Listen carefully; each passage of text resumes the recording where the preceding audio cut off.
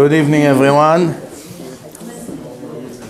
Those of you who didn't come to the beautiful Shabbaton we had, more than a thousand people, you missed a once in a lifetime opportunity.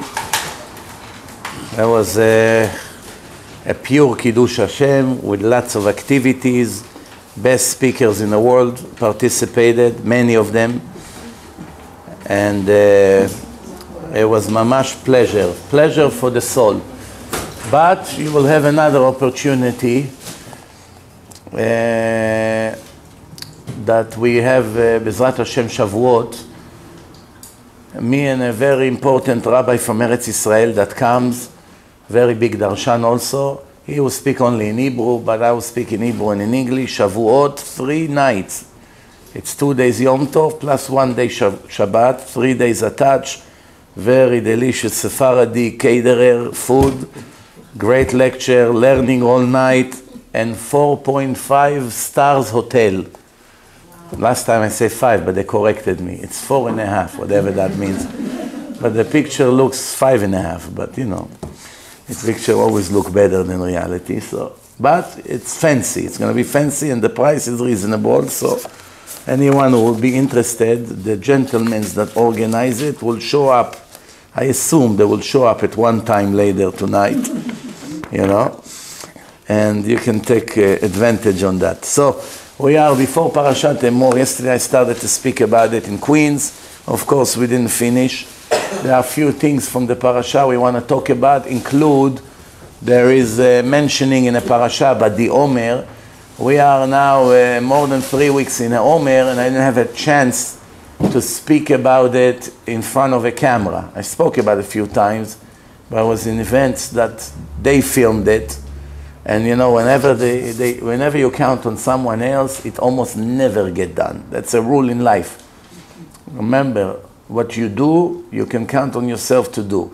What you count on others, as great as they are, it doesn't get done.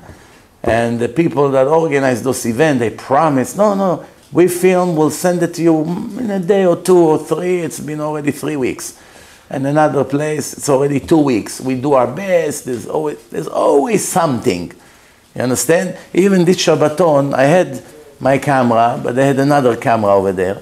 So whoever was filming, I say, say, tonight you will have it. Meaning Sunday night. We are now Tuesday night, I still did not get it. In the meantime, it's not on my website. So this is how it goes. What you do, what you do yourself will be done. What you count on others, usually, sometimes it does get done, but very rarely. Very rarely it gets done by others. Why? This is the way the world is. I want, to, I want you to know one more thing. Same thing, tefillin. When you fly, don't ever send your tefillin in a suitcase or any other important things that you have in a suitcase, do not send it. Carry it with you as much as it bothers you. Carry it. Why? You carry it, you will have tefillin tomorrow morning in Israel. You count on El Al or whatever the other airlines are. Sometimes he will get there, sometimes he will never get there. Not to talk about the financial loss. If you have good tefillin, it's also a shame to lose the money. But you won't have it. Why? Because that's the way the world is. You count on others to do the job. One more thing, if we already mention it, many of the wealthy people, they don't give a lot of tzedakah in their lifetime, thinking, after I will die, I mean, uh, before I will die, I will write a will. And in my will, I will order my children to give for my soul this and this and that and I will give the rabbi such and such to do things for my soul, and I will commend my lawyer who shares my estate to do some charitable things for me, and usually none of it will get done. What you do in your lifetime, you did it, it's yours. What you count on your children to do after you die, I'm telling you from experience, is just not getting done. Why? Either they become greedy, they don't want to give the money for charity. They want it for their stomach. And even if they respect you a lot more than the greed for the money, they not always know how to invest it correctly. Right? There were cases that the father had, the doctors gave him two or three days to live, And right away he wrote a check and he called the big Rosh Yeshiva and he gave him a million dollar in Israel. American, American Jew, he gave him a million dollar and he said, use the money for your yeshiva that all the Torah that people learn with this money will be for my soul. And you know what happened? As soon as he died, his son put a stop payment on the check. And he say, the Rosh Yeshiva came to see him. Said, what's going on? Well, your father gave it to us in his lifetime. He said the check never cleared before he died. Technically, I inherited it, and it's my money, and I disagree to give you the money. My father is a fool. He wants to give money to you, fine. I'm not giving you a penny. As he came, he ended up in bed in this case. You know, this, this is the kind of people we have today. When it comes to money, sometimes the children kill each other when their parents leave. Usually it's a source of a problem. What you do in your life, do it now. And don't wait until you be 70, 80, or 90. If you're 40, 50, 60, and you have a lot of money, start investing it correctly.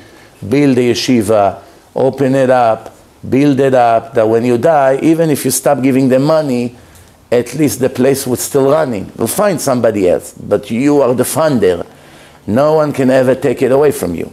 Everything in life you started, either a good website of Torah, or a good page on Facebook that publish Torah all day and people go in and learn Torah non-stop because they have no other place to learn, or a factory that spreads CDs, or orphanage home.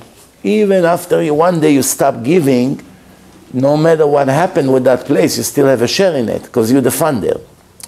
If you only join the place later on and help them for X amount of time and you stop, you only get for the X amount of time you gave.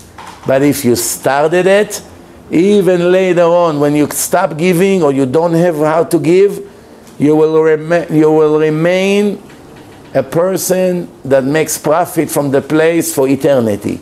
Nobody can take it away from the fact that you're the one who started it. Same thing in synagogue, and you got the point. So this is it. What you do in, with your own hands, it's done. What you count on others, chazakah. Chazakah means certainty. Chazakah that it won't get done. Won't get done by messengers, by people, count on him, count on that. It won't get done. This is the way it is. This is the way the world is, and not it's, and it's not even to blame anyone. It's just this is the way it is. That's it. There, are, there is Yetzer Hara, and the Yetzer Hara fights, and sometimes the kids don't understand what the father understood because he's older and he saw a lot in life, and they're young and uh, ambitious, and they say, you know what, right now we need the money. One day we will give it, but right, not right now. In the end, they lose everything. The Gemara has few stories like this that fathers, they, uh, you know, they, what they did is they left money and they divided it to the yeshiva, to the rabbi, and they didn't want to give their children because they were not going in the right path. And he was going to the rabbi, and the rabbi had mercy on him, and he gave him some of that money. All kinds of all kinds of stories like this that teach us a lot how it was working. So anyway, Parashat Emor, Emor el Kohanim, it begins with concepts that relates to the Kohanim and to the Kohen Gadol. And the Torah started with uh, when a Kohen relative passed away, what really, what are the conditions for him to become impure? What does it mean? If you touch a dead body or you stand next to a dead body, you get the impurity of a dead body. You cannot, if you're a Kohen, you cannot go into the cemetery, you cannot go by bodies, you cannot go in a room, there's a dead person there. You cannot get on a flight that they carry a dead body to Israel. There are restrictions to the Kohanim. Even if the airplanes fly above the cemetery and it's a Jewish cemetery, then the Kohen cannot be on that flight. There happen many, many times that they move El Al flights from the right track they moved them away when they found out they fly above cemeteries in Europe. They moved the actual route. They need to get permission though. So they had to call that country in Europe, Belgium, whatever it was, to tell them that they want to move one mile to the right or to the left and it doesn't interfere with the, you know, with the space. Why? Because when a Kohen fly above a cemetery, the impurity of the dead people go all the way up to heaven.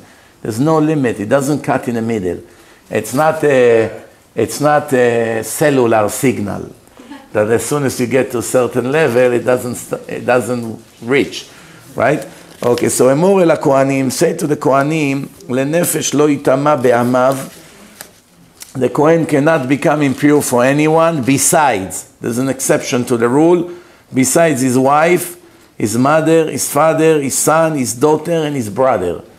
So we have some relatives that is allowed to take care of their burial.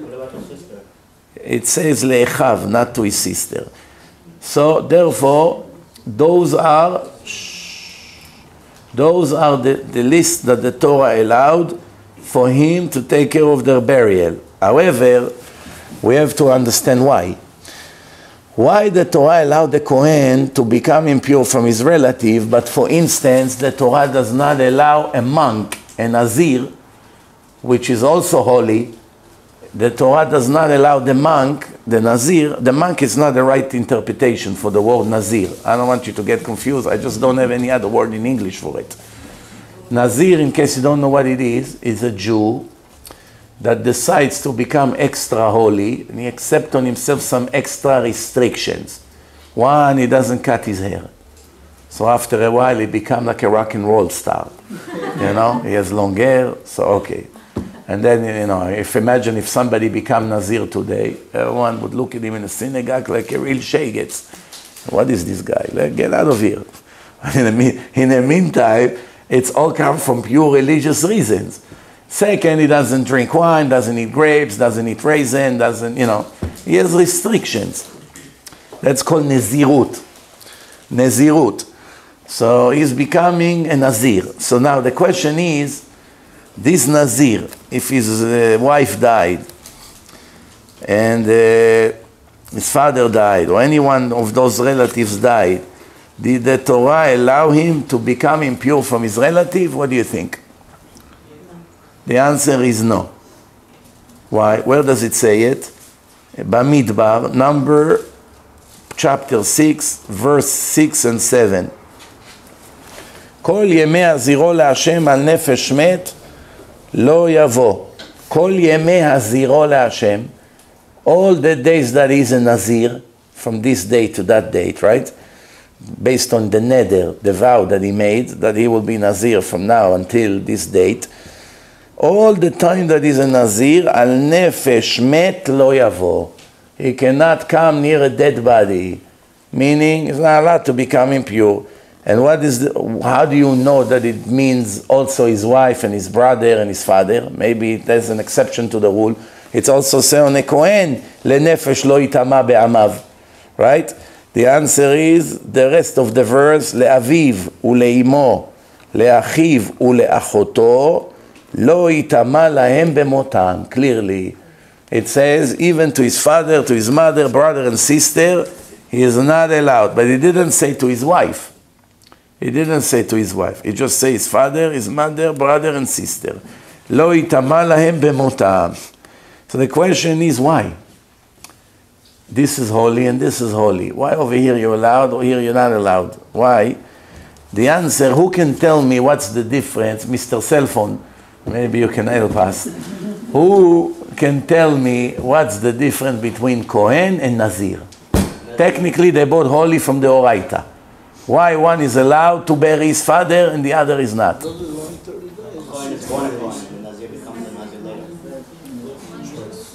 Huh?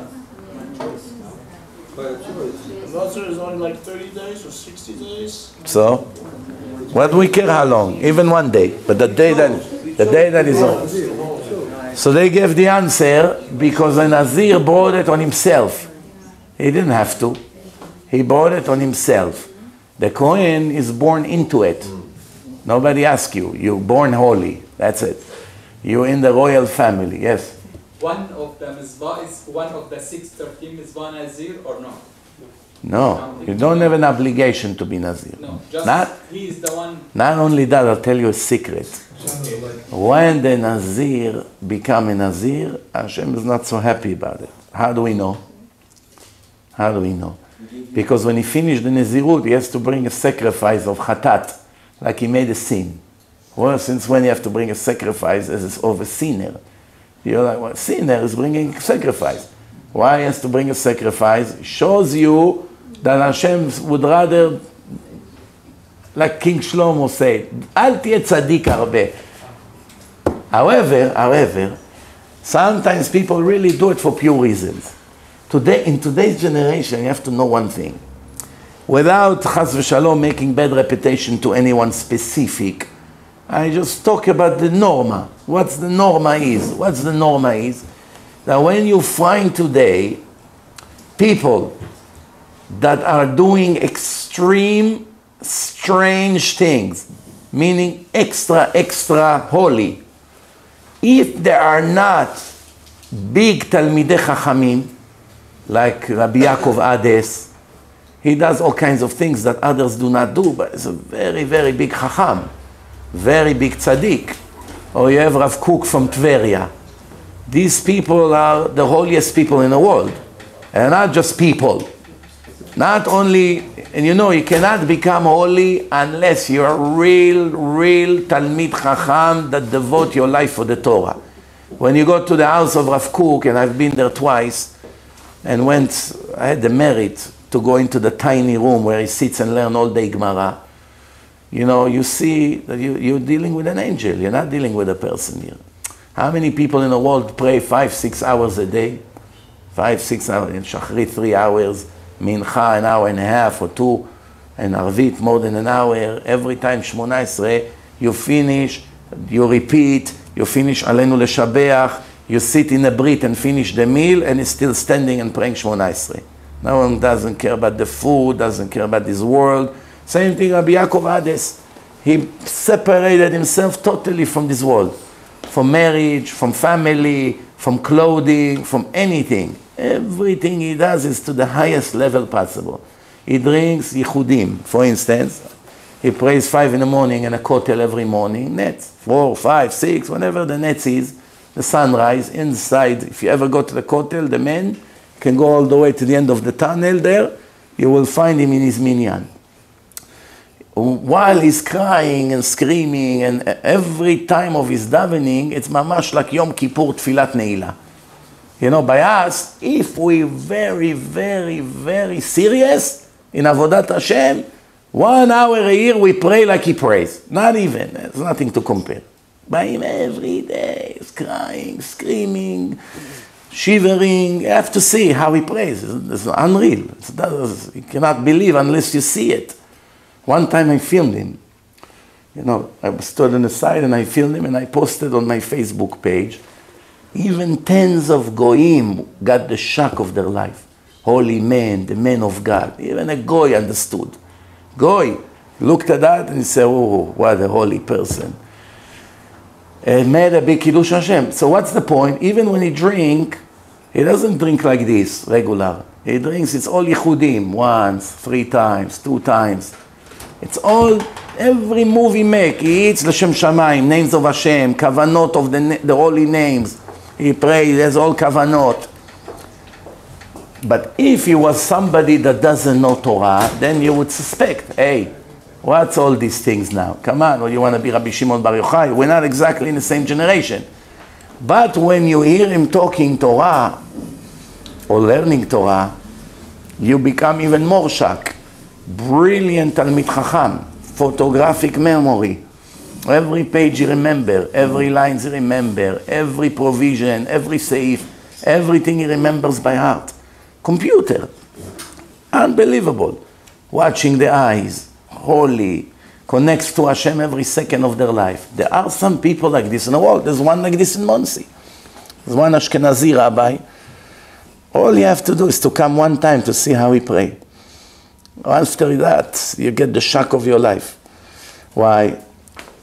Runs in the synagogue, jumping, crying, sitting, getting up, running, crying again, going unbelievable. One morning that he prays, it's like running the marathon. How, he, how, how the person is. Connection that this neshama, these souls, these people have the souls to God, is beyond any understanding. We will probably will never understand how people our generation reach such level. It's hard to believe. Today a person comes to pray, unfortunately, first thing in his mind is, when do I get out of here? As soon as he walk into the shul, he begin to calculate what time I'll be in my car already, or what time I run to my breakfast, to my bagel, right? Or to the business, or I don't know what. Everyone with his plans. And people have hard, hard time to focus. It's very hard for them. Their brain is not functioning because they see so many dirty things in their life. They look at so many not modest pictures. They are on the internet in places they're not supposed to go. They listen to garbage music, all kinds of filthy non Jewish music. They, the way they live their life, the way they conduct their life, their fate, their everything is rotten. Add on top of it that every other boy in this world is addicted to drugs you know, using pills and heroines and smoking. Rabbi, it's only smoking. Only smoking, it burns your brain. What do you mean only smoking?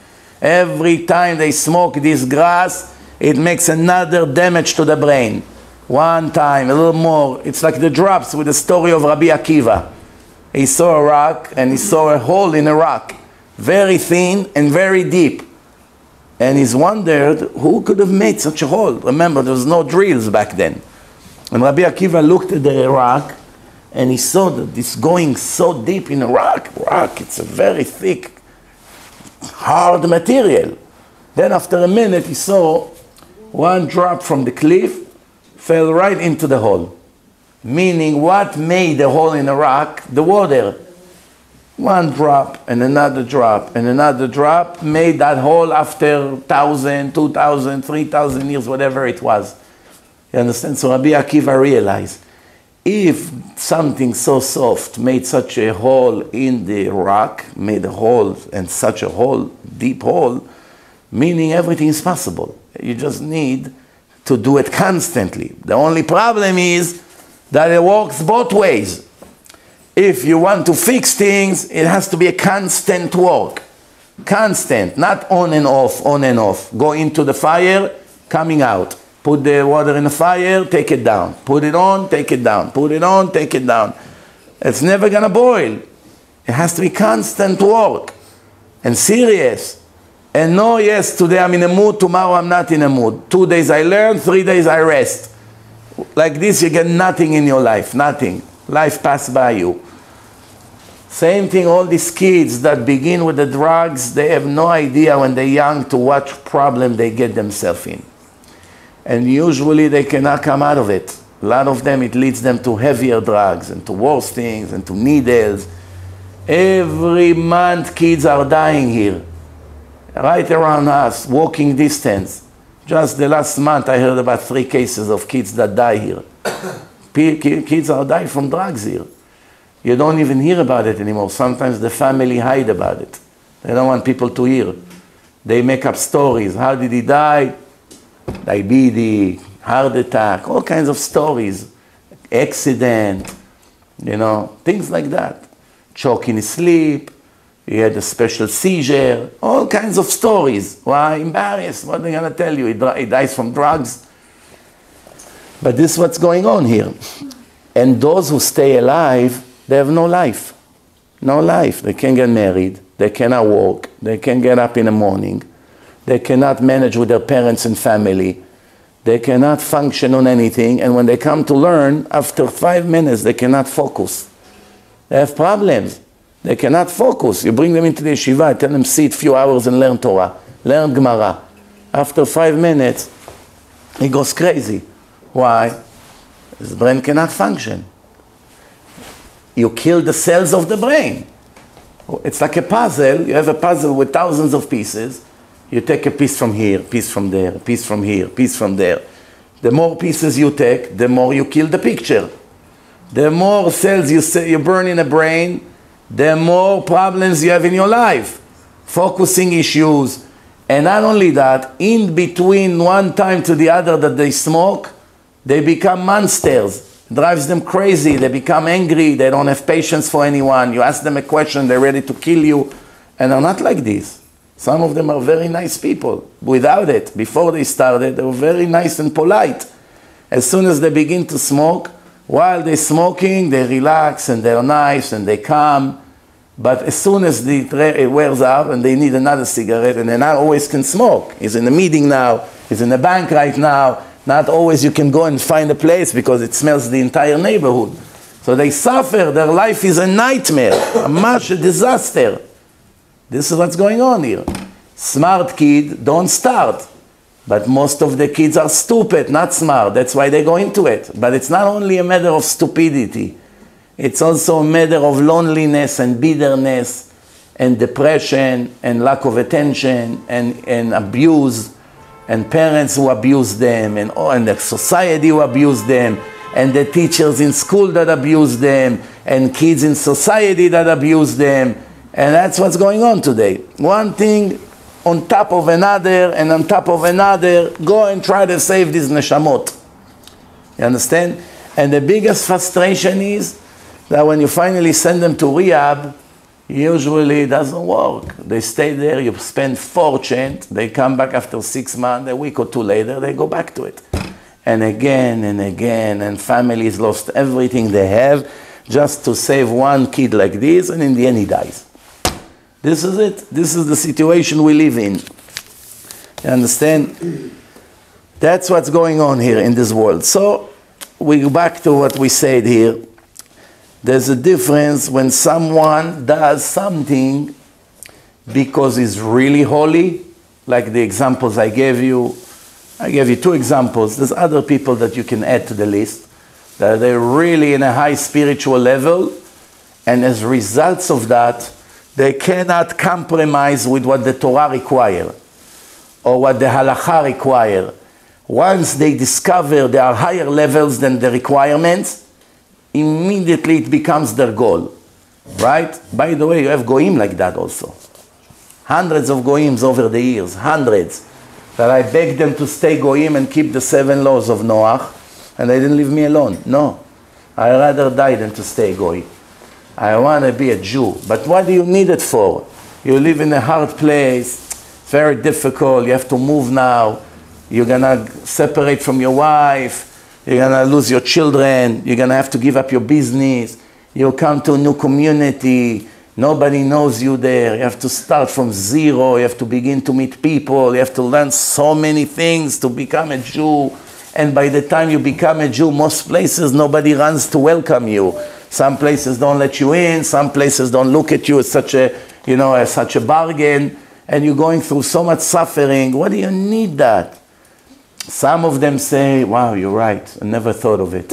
Okay, okay, I stay righteous Gentile and I keep the seven law. But, but every once in a while, you have a goy that say, no, no, I know about all this. I don't care. Sometimes they're black or Asian, which makes their situation even harder. Why? Why it makes it harder? Because a person that is a Greek or Italian or American or British, once he convert, nobody knows he was not born a Jew. He looks like a Jew. But people that have eyes like Orientals immediately turns the fact that they were not born Jewish or black people. Most everybody understand this person was not born a Jew, which makes it even harder for them because it's like walking with a, with a sign I was not born Jewish. Those, the other ones that look like Jews, like I say, Italians, Greeks, you can, you, they can look like Jews, different Middle Eastern Jews or European Jews. But, so it makes it even harder for them. Today, I had to call the health insurance, some kind of a technical issue with their website. So I, it, was a, it became a very urgent thing. I was very busy, but I had to leave everything and call and spend almost 20 minutes on the phone. But every time before I call, I ask Hashem, please bring me the right person, because they have thousands of people that comes, and some of them are the biggest monsters, and some of them are very nice people. You have to fall in the hand of the right messenger. So I, you know, I mean, 26 years you call customer service here in the bank and in all different places. How many times a person in his life talking to people on a phone? Sometimes you have a nice one, sometimes you have a disaster. But today, I got such a guy, Goy, black one, by his accent I realize he's black. You never saw in your life such an angel. You never saw in your life. I mean, I say to myself, imagine if all the customer service people in the world would be like this. The world would be an amazing place. I asked him one thing, he did 10 times more for me. No, wait, wait, let me check. Maybe there's something better. Hold on, no problem. Wait a minute. Let me, let me do it. Let me give it to you. Let me email it to you. Did you get the email? Okay, let me call the person to tell him that it's nothing to do with you. It's our error. And we're going to issue if you need a letter for him. Hold on, give me his number. He called up the place. Listen, the payment, it, it's, it's all current. There's some kind of a problem with the card. It's a mistake on our hand. He puts me, he puts me on hold. He comes back. Don't worry, I took care of it. They're very happy. I left an urgent mes- message to the agency that tomorrow, first thing in the morning, they reactivate it. You know, you had to see this. So in the end, I told him, listen, that 26 years I've been talking to customer service. I never had a guy like you. You're really unbelievable. You had to see how he was happy. These poor guys, all day they get abused. all the monster cursing them, they don't have patience, how long you keep me on hold. Finally, he got such a compliment, you felt in his voice, he said to me, I'm going to call you tomorrow morning. Since when they call people? I will call you tomorrow morning to make sure everything is active. You have to pray to Hashem. I'm sure Hashem chose him. Say, Hashem, please give me the right one. I don't want to waste now 20 minutes and get nothing. The right person at the right moment. So let's move on. So, next thing in the parasha, ולאחותו הבתולה הקרובה אליו אשר לא הייתה לאיש לא יטמא. You have uh, two conditions with your sister. Your sister before she got married, she lives still with the parents, she's your sister. And after she married someone, and that's it, she lived like a Eshet Ish.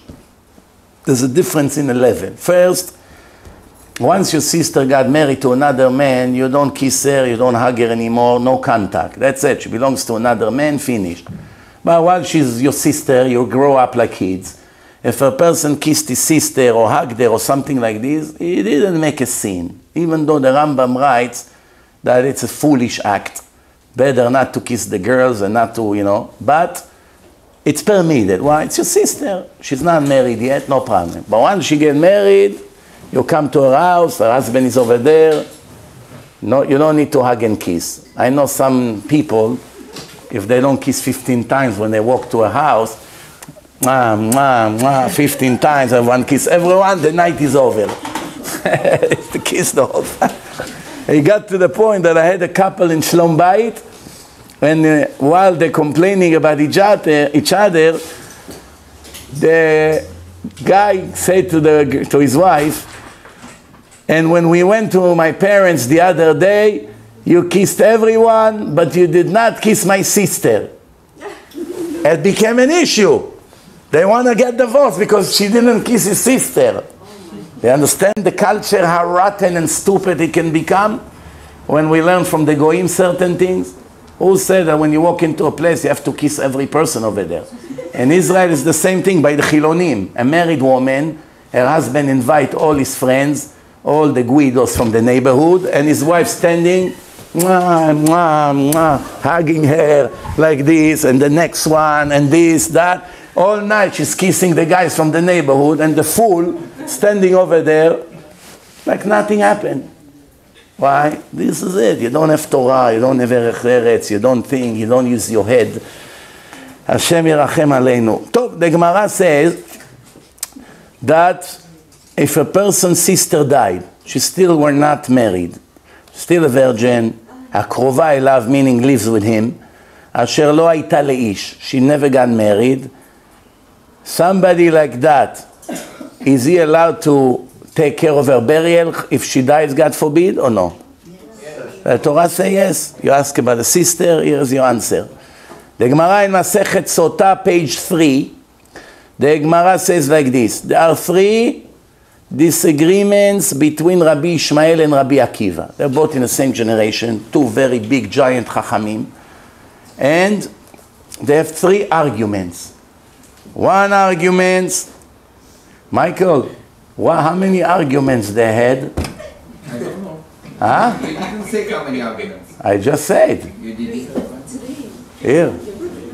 Huh? Who are we talking about? Listen, let me tell you something. If you think you come to the lecture to make me happy that you're here, I rather you don't come and, and talk on the, and text on the phone. If you come, listen to the shiur. Searching for something. You're searching for something? I, I don't talk about Japan tonight. Don't worry, no Japan. By the way, speaking about Japan, Japan accepted 1,500 Muslim immigrants with pressure from the world. And guess what happened? Guess what happened? Constantly they're attacking Japanese people, rapes, molesting, attacked. They regret the moment they made that mistake. They went out of their policy, they begin to have tons of problems in Japan already. Crime, those immigrants, as soon as they arrive to Japan, like a mafia. Terrorism in Japan. No, here you go. Do You believe that Muslim people are really that bad? No, I didn't say all of them bad. I just said this is reality of what's happening right now in Japan. You know, you, you worry about refugees. You want to help them out, but you don't learn from other people's experience. If you see Germany brought them in and they scream in a mask of Germany to burn and kill all Germans. If you see you brought them into Japan and that's what they do. If you see what they do in France, what they do in England, what they now do in America, in LA, that they attack over there, and other problems that happens here all the time. When you learn from other countries, how do you want to bring them into your country? What makes you think that by you will be any difference? Just a matter of time until it become cancer in the body. And once the cancer is in, sometimes you're able to get rid of it. Sometimes, most of the time, it's killing you. It's taking you over. And that's what people have to learn. Nothing to do with racism and all this nonsense. It's reality. The refugees coming to countries, the problems right away begin.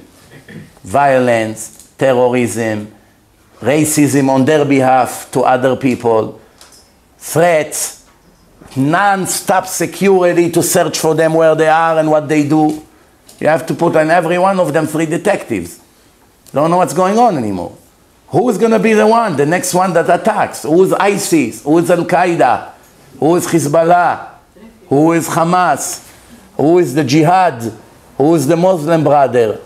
You don't even know what's going on. It's cancer everywhere. What, what do you live in a, in, a, in, a, in a bubble? You don't see what's happening in the world? Anyway, by the way, you know, Hezbollah mentioning these monsters, I have to tell you, in case you didn't know, everything that Hashem does, it's so brilliant and so clear, you have to be blind not to see it. They started with us again and again and again, and they became massive. Thousands of soldiers came, Iran spending money, supporting them, non-stop. And they built an army, and they took over Lebanon, and they controlled the government. And everywhere in Lebanon, they, are, they walk free with all their weapon, and, and everyone is afraid of them. They just hijacked the country. And the people of Lebanon, uh, nobody has the guts to deal, to mess with them. So what did Hashem do to them? Syria ran into a war with the rebels and Al Qaeda and all the mess that over there. They needed to go to help Assad because Iran sponsored them. Somebody sponsor you, he control your life. Not that they wanted to go and fight. Who wants to go and fight against other Arabs? They rather save their energy to kill us, the Jews. But they had to go to fight in Syria. Thousands of their soldiers died, Ishtabach Shemo. And this week, finally, United States, after eight years of suffering from the genius Obama, I don't know where they were until now for the last eight years, finally, United States froze all their money of all their accounts in Lebanon. The hundred top leaders and accounts of Hezbollah in Lebanon was all frozen by the Lebanese bank. Why they didn't do it until now, eight years? They could destroy them eight years ago and avoid the war. And all the missiles that they shot in Israel, the Americans could have done it. Why they didn't do it until now, I don't know the politics behind the scene. But one thing I do know now, they told the Lebanese bank, if you don't freeze these 100 accounts, they gave them a list. You won't be able to do business ever in America, in a world, no wires, you're never gonna get a license, and we will choke your bank so much, you'll be in business in six, out of business in six months. That's what they did to the Swiss bank. Give us the names of all the people, all the Americans that open bank account in Swiss. The Swiss people say, no, it's all confidential. When we open accounts to people, we promise them that it's a confidential banking industry and we're not supposed to give you the names. But America, it's a mafia. It's a mafia, CIA, FBI. It's different mafia, but supposedly legal. You know? The Italian mafia, it's not legal. The American mafia, just like the Russian KGB and Putin, the head of the mafia, it's all mafia. So they told them, the Americans, if you don't turn all the names of American citizens that have an account in, uh, in uh, Swiss, you, we will close all your activity in America. That's where they do all the business. Swiss Bank, right here in Manhattan, so it's all over the world. They freeze their assets. You cannot do business in America. You're not going to be able to do any business anymore. No wires, no permits, no nothing. No, they didn't do this. Yes. They only did it with one bank, and it was a condition with the bank. Yes. America will give a certain amount of time amnesty, so everybody can come, step forward, report it first, and only for those who didn't report, then will they will disclose. So the bank Exactly. for the customer. Exactly. Bottom line, they, they were afraid to. They, they didn't And say. one more condition, Yeah. limit on the account. If you have a small account, you don't have to be reported. Let's say you have only fifty thousand dollars, Yeah. Nothing. They're not looking for them. They're looking for the ones yes, that. exactly. Go back to the text. So. and one more thing, and I go to the text. Why you wake up in the wrong time to ruin everything? When I need your attention, you're not here. When I need you to sleep, you wake up. Well, you obviously have more experience dealing with Muslims than me. You, you grew up in Israel. But the worst people in the world I ever met, they all Jewish. But I want to tell you something. But I want to tell you, you know, most miserable people. you know, in, in Israel, they made a survey. Do you know who the most extremist people against Arab in Israel? Russian. Ah, Russians. Can you explain to me? I know you're an exception to the rule. No. Why Russians, 800,000 Russians goyim lived in Israel. They brought a million Russian, 200,000 of them supposedly Jews, 80% are not Jews, so you have 800,000 Russian goyim. Fine, the Russian Jews, you can understand why they can connect with them. But why 800,000 Russian goyims hate them so much and they so racist towards them? You really don't know why? No, I'm, I'm curious. Why? Because in Europe, it seems that the Europeans are crazy about them. Look at your hero, you're talking all the time, Putin. Putin. Take over somebody. Take over Ukraine, take over No, but country, take Putin over- is very good with the Arabs. Absolutely. He's good with Iran. He's good with Syria. It doesn't matter. He No. likes to be taking over. Russians like to be uh, to be fighting all the time. this is their nature. Doesn't matter who. Before in Russia they who, they had to fight who? Jews. Who they blame for everybody for everything bad in the country? Jews. Now when they're in Israel, how can they blame Jews? No more. They found another goal, another target. Now it's Arabs. Tov, we'll take your answer as the expert to the Russian uh, diplomacy. The worst people I ever met in my life, maybe Yeah. I'm wrong. Yeah. The worst Yeah. are really Jewish people. Yeah, worst. That's the most miserable people I ever met. You had that experience. Other people disagree with you. All right, so let's move on. So the idea. I think it's in Barak that the biggest antisemites. uh. No, no. It says. That all the partners of the Jewish nation comes from themselves. If they'll do the right thing, nobody can touch them. But obviously we're not, so we pay the price. So where were we before Japan? So okay, so they forced the Swiss bank, and the Swiss bank gave them all the names of thousands of Americans, and obviously many of them are Jews, because a lot of wealthy people that put tons of money in Swiss.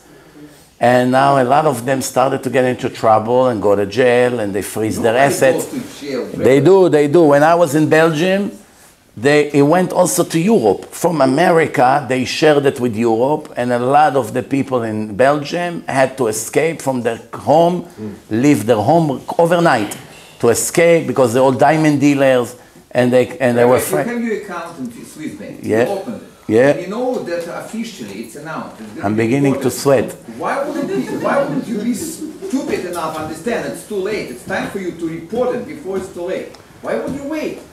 Listen, you're asking me why people don't pay full taxes? No, this I know. So what do you But now they're gonna tell you. You want me to explain it to you why? Huh? Okay, let's move on. The So, way, and by the way, if you want to know the truth, oh wow. it has nothing to do. It has nothing to do with America. On top of America, Swiss, Swiss, Switzerland as a country and all the banks, they're reporting it to about everybody. In particular, the people from France, they are neighbors. They will had a big concern that every French who has it will be open system. So now there is no way you can keep anything in the Swiss bank. Period. Hmm. No more. And there is couple, still couple tricks, but You know what will happen? They'll, they'll, in the end, they'll actually ruin it for themselves because until now they were the richest, one of the richest countries with great economy and wealth and power in a banking system. And you know, if 20 or 30 years, there'll be nothing. That's how it is. Anyway, by the way, you should know one of the reasons Israel survived the crisis in 2008 when the biggest banks in America collapsed one after the other and big insurance companies and all these mortgages, Fannie Mae and all that. America was in chaos, such a country, and they basically lost control until the government needed to secure 19 banks before everything in America will collapse. They had a major, major danger here that everything in this country will go to, to the garbage. So the government made few steps thanks to the Jewish head of Bernanke and some other advisors. And they started to print billions of dollars and they gave a lot of money to the banks. And they said, those 19 banks, we will not let them fall. And they started to force the bank to buy each other. Wachovia Bank is collapsing. Wells Fargo, you must buy them. You want us to help you? We'll give you money. You have some money, buy them. You buy them, you buy them. Why? Because they wanted all the American people to have service. Imagine now, one bank after the other is closing. Every bank has millions of customers. All of a sudden, they don't have a bank until they get their money and until they reopen. Have to go. It will be a disaster here. The government would lose money from it. So they fix somehow the situation. But in Israel, none of this affected them. How can it be? Ma, Israel without America, it's like it's like you have the elephant and he has a little bell hanging on his neck. That's Israel.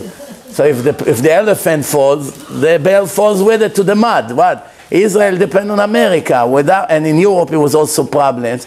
So Israel without America, can they have um, a healthy economy? It, cannot, it doesn't make that much of a sense. So what happened in the end? The reason, one of the reasons Israel survived they say that because the banks in Israel don't give 90% mortgage or 100% of the value of the home. So even if the house goes down in Israel, you still the banks still have enough to collect. But that's not so so true because if the houses will go down 30%, they would collapse also. But what kept them going is that all the wealthy Jews, not all, but huge amount of the wealthy Jews in America, they sent all their money and they put it in a banks in Israel. Bank Hapoalim, Bank Discount, $100 million, $50 million, $20 million. They want their money out of America. And if one day they have a problem, they run away. They have the money in a different country. And if, if where? Where will I run away? To my Jewish state. So a lot of the rich people put the money in Israeli banks. And that's why they had many, many billions of dollars in their account. So they had strong, they have the strong wealth. Why? A lot, now it changed. Now you cannot do it anymore. Now, if you want, to, if one of you, a Jewish American person, wants to go to Israel to open a bank account with an um, with an American passport, if you don't have an Israeli ID, תעודת זהות, you have to show your passport. If you want to open, you have to fill up IRS papers. Israel became a branch of IRS. IRS control Israel now. You cannot open a bank account. Yeah, but what is it In Switzerland also? That's a whole world like that today. Okay. So I'm saying America did this to the world. That's what I'm explaining in the last 10 minutes. So the point is that they, what they do, like a mafia. What does a mafia do? Hey, hello, hi, how are you? You have a very nice business over here. Uh, you know, there's a lot of things happening. We will supply you with security. We will protect you. You're going to give us $10,000 every month and we will defend you. If somebody ever bother you, here is Tony, here is Vinny. You give us a call and we'll come and take care of business. Uh, excuse me, thank you for your courtesy. We are not interested. We don't have any problem. We're here for 20 years. Everything, and we have problem, we'll call the police. Listen, maybe you didn't understand me. I didn't ask you if you're interested. I just told you the new arrangement. Here is the place. Tomorrow somebody come, prepare 10,000 in cash. He will collect it. If he comes the next morning and the cash is not ready, what happened the next day? Fire department. The, the store is on fire. Hello, you see you need a protection? Why didn't listen to me? I told you call Tony. And that's how it is. And thousands of businesses here pay them protection. Same thing in many different countries. This is what America does. You want to do business in the strongest country in the world? You want to have 400 million customers? You want to have all kinds of things that you can get from America? You'll do it my way. It's either my way or the highway. All right, so let's move on. do you expect? That, that America is going to avoid that people going to hide the, the taxes around the world? Let me ask you a question. Why Russia didn't do it? It's also a very strong country. They did. They did? Why? Why? In, in, you don't have to fill up any papers of Russia. Yes. If a Russian person come to in France to open a bank account, they make him fill up an IRS of Russia papers, or in America here, if a Russian person come to America and fill up a paper, do you need to report to the Russian government? No. Once you're out of Russia, you're out of Russia. They left you alone. going to be, are you going to be driving home tonight? Or China. Driving home tonight? Me? Yeah. Why you want to drive me? No, I just want to ask you, somebody going to drive 120 miles per hour on the Palisades, and you're going to ask the police, why did he drive and I don't? why he can I, I can don't? Because this is he, this is his problem. I didn't stop him doesn't mean anything. That's a different country. Zimbabwe also didn't do it, and the South Africa didn't do it. So why? America knows how much money goes away. Russia, I tell you why they didn't do it. They still want to encourage the people to do this international trading, and they know what's going to happen. They're going to simply get get out of the country. So Russia is, has to first to provide a conditions to money to stay inside Russia, and then they will do it. America said we already provided enough. The Gemara in Masechet Sota, page Gimel. We'll talk about Russia in the Gemara. Okay. The Gemara in Masechet Sota, page Gimel, the Gemara say there are three disagreements between Rabbi Ishmael and Rabbi Akiva about three verses in the Torah. First country, first disagreement in a woman that she's a sota. What does it mean sota? Cheating on her husband, or at least she's a suspect. The Gemara, the Torah says, "Vekina et ishto." Person has to be, and if he will be jealous to his wife, meaning he suspects her and he's worried that maybe she's talking or doing something with another man, according to Rabbi Ishmael, it's reshut. If you suspect your wife from cheating, you have the right to take her to the Kohen to make her drink those water. That you write the name of Hashem, it goes in the water, the ink, and you drink it, and then the rest. If she did cheat, she dies, and if not, she gets a special blessing. According to Rabbi Ishmael, the husband has the right to do it or not. He can let her go.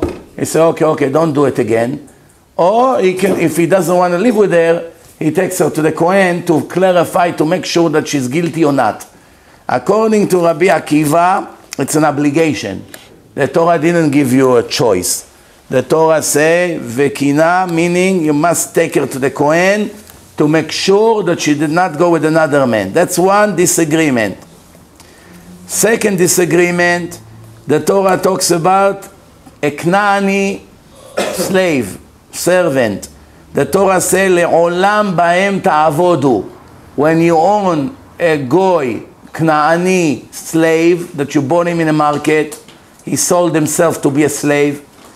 Once you own him, The, according to the Torah, literally it means you should make him work for you forever, meaning until the day he dies, meaning you're not allowed to release him. When you can release, when he will be released, if you gave him a punch or something when he got you angry, you poked out his eye, or you made him deaf, or you, you know, all kinds of, there's 24 organs in the body that if you damage them, you let him go. So according to the Torah, once you bought a Knaani Eved, it seems that the Torah said you should keep them to work for you forever. So according to Rabbi Ishmael, it's reshut. If you want, you can keep him to be your slave, meaning you have the permission. But if you want to have mercy on him, hey Muhammad, come here. Listen, you know, you got a little old. You're not what you used to be. Maybe I'll give you a chance to go free. You know, finish the garden, clean the house one more, one last time, and adios. So that's according to Rabbi Ishmael. According to Rabbi Akiva, chova. If you you must keep him. Once you born him, it's for life. Meaning, if you let him go, it's a sin from the Torah. You break the rules of the Torah because the Torah says, "Olam ba'em ta'avodu." And the third disagreement is about a Kohen, regular Kohen, not Kohen Gadol. If he has a sister that's still a virgin, never got married yet, is, is he obligated to become impure to take care of her burial, or if he wants, he has permission? According to Rabbi Ishmael, is permitted, meaning he doesn't have to. He's permitted. You can also call Chevrat Kadisha. Hey, neighbor, call him, call him, I'll pay you. Come, take the body, take it to the cemetery, dig the grave, whatever the expenses, I'll pay. I don't want to touch her, I'm a Kohen. That's according to Rabbi Ishmael. If he wants to do it himself, he has permission. According to Rabbi Akiva, chova. It's an obligation. You have a mitzvah right now, you have to do it. So now those three uh, disagreements. Now we have a problem here. Let's see who is clever here. Based on those three disagreements, according to Rabbi Ishmael, that say all three of those verses are permission. You want? Fine. You don't want? Also fine. Based on Rabbi Ishmael, what problem do we have? Who knows? Huh? It creates to us a problem. You can go to the, to the, to the cemetery for a sister. The can- doesn't need to exclude it. It's So you allowed to be tameh for the, the no, but what what kind of problem we have if we go by the Rabbi if Rabbi Ishmael is right? What problems we have now in the Torah? No, So you permitted to be tameh for your sister. no. What technical problem we have in the Torah? If Rabbi Ishmael is right, if it's not an obligation, what happens right away to the Torah? Is that right? People do what they want to do.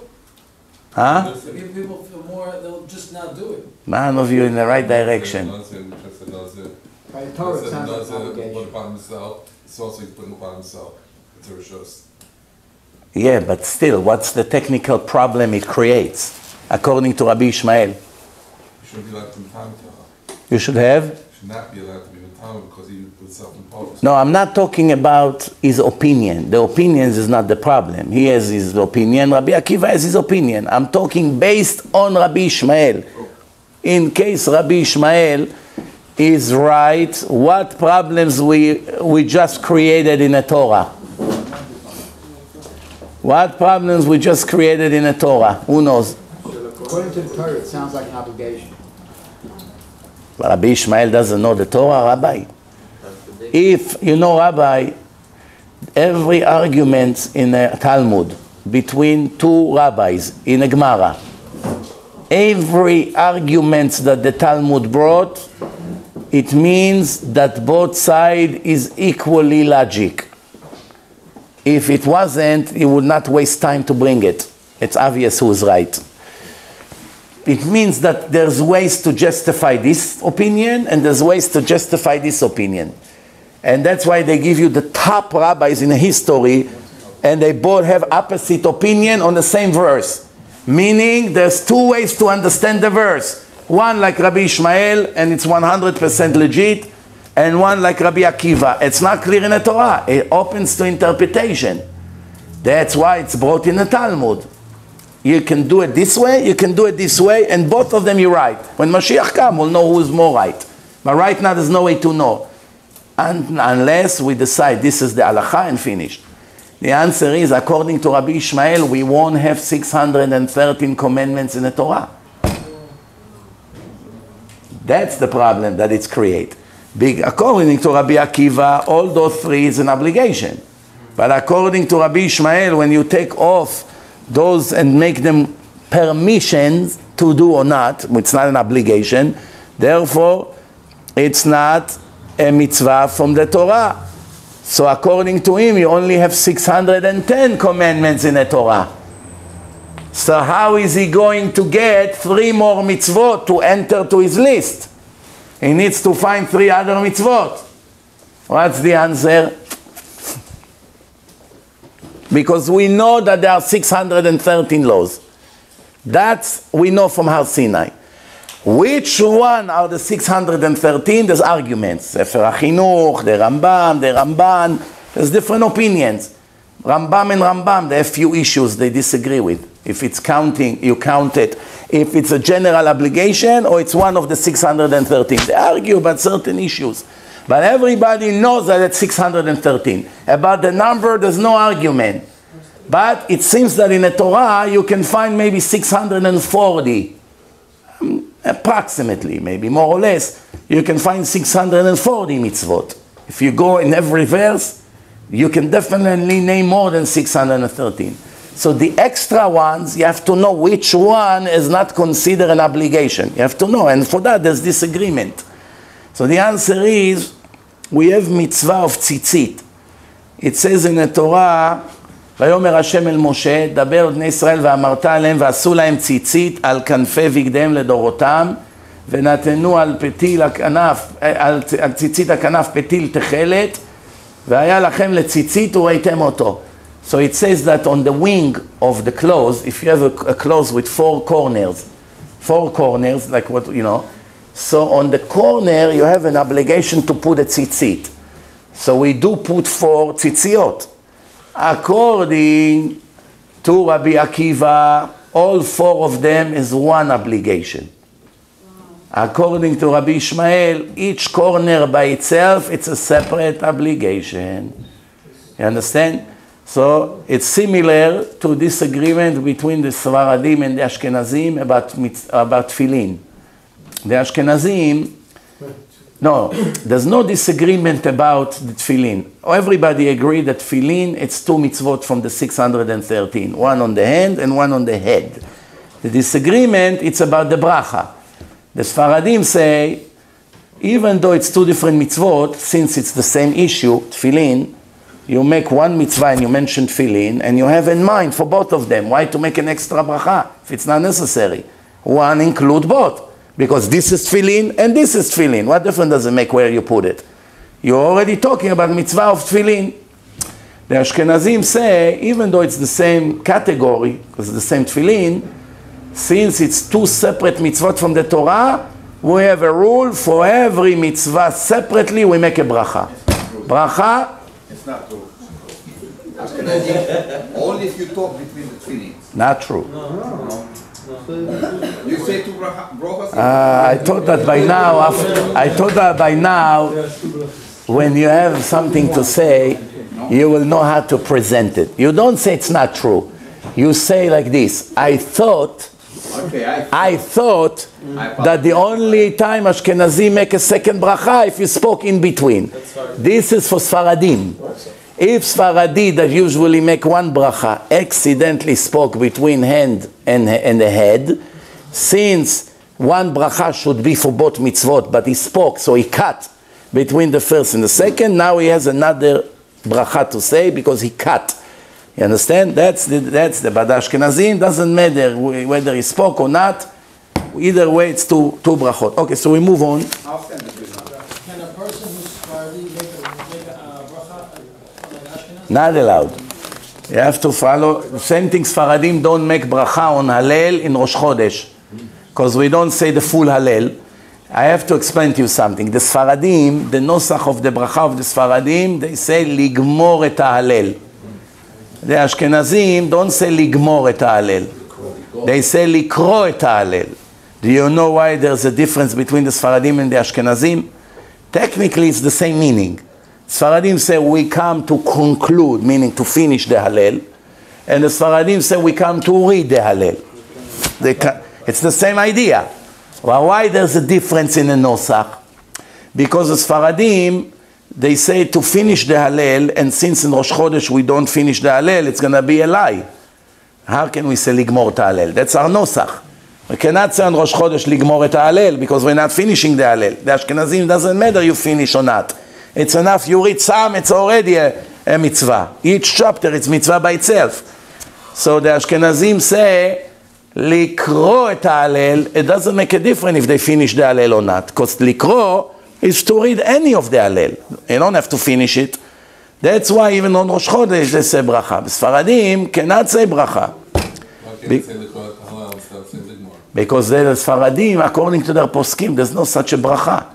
The nosach of the bracha is ligmor. There's no such thing. You don't make up things on your own. Ashkenazim, in their tradition, you know, it's one of the hardest thing is to find the roots of the machlokot between different communities of Jews. When I was in Amsterdam, I was shocked. I went there on Friday night to a synagogue in Amsterdam, and then Shabbat, and I saw that they have so many different things than the way we do it in, the, in America or in Israel. I asked my host why they don't say Berich Shemeh, why they don't say this, why they don't say that, why they don't do all this. The mother skip so, so many different parts of the davening. So he said to me, over here in Amsterdam, you will not find anything based on Kabbalah. Kabbalah doesn't exist here. They waived it. Why? Because of Shabtai Tzvi. The damage that he made in Amsterdam and to others, that's by the way the reason why the Ramchal in Amsterdam suffered so much. The Ramchal, he suffered a lot because of Shabtai Tzvi. Everyone was paranoid in Europe how this person that everybody thought it's holy became such a fake, you know, and ended up converting to Islam. He became a goy in the end. He can't become a goy, but at least he tried. He went back, he went back. He. By the way, believe it or not, more than 200 years after it happened, Shabtai Tzvi, you still have people in the world that admire this low life. Still have people. It's called the Shabtaim. It's movement. They still admire him. After they know it was all fake, it's unbelievable how the mind of people work.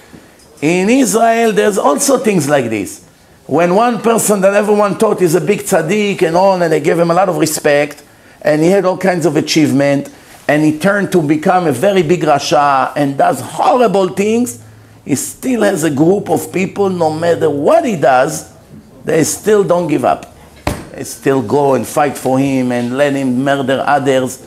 It's I don't know the mind how the mind of the people. You need a real serious psychological investigation. How does a person see that somebody that he, ad- he admires became a mass murderer, and it still is not enough for him to run away from him? I don't understand. I really don't have the answer for it. Every clever person, no matter who this person was, your partner, your brother, your rabbi, who cares who he was? You see, he became a monster. You see, all he does is horrible things. You see that by now it's all ego and it's no yirat shamayim and it's all machlokot and it's all dirty talking and dirty mouthing and putting all the Judaism down. How many years it will take you to realize that this person maybe used to be good and now became a monster? What?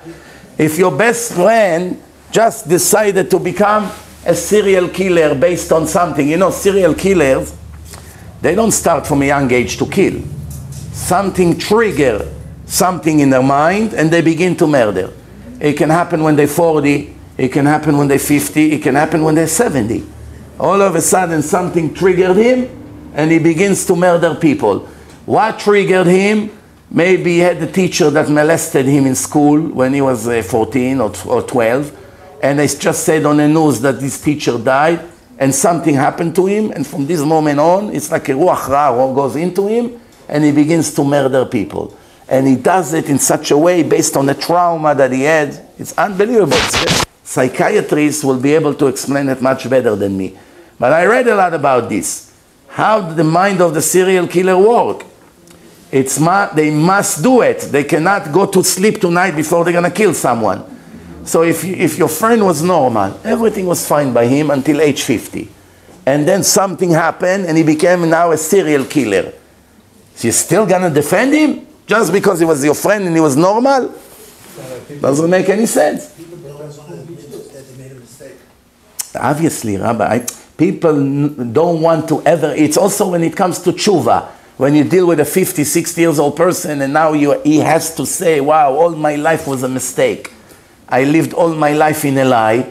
The ego does not let. We know that. We are, we are aware of that concept. But still, there's a limit to how much. We're not talking he made a scene here and there. They say something about it. We're not talking a minor incident. We're talking something that you see every day and become a habit and becomes a disaster. And every day it repeats and more and more and more things are discovered and more things are revealed. At one point, a person should say, okay, I'm giving up. I, I try to, do, to give any benefits of the doubt, but now, obviously, I left with nothing. I cannot say anything anymore. Or at least, you don't want to admit, at least hide. Go and hide. Uh, what, what, where are you? Why are you not coming to help me? I don't feel good. I cannot help you. Why? What do you want? To help a monster like you to murder people? It doesn't make any sense. Listen, weak or not, all these expen- or excuses that you give are pretty good, but they're not closing the question. Uh, okay, he lost all his children. He was one each time, he lose a child. He lost all his children because he couldn't admit that he did wrong. Right. You're right. The, the, the, it's, it's very difficult for people to admit that they're wrong. Okay, let's move on. It says like this. Next thing in the parasha, the next thing in the parasha, it says like this.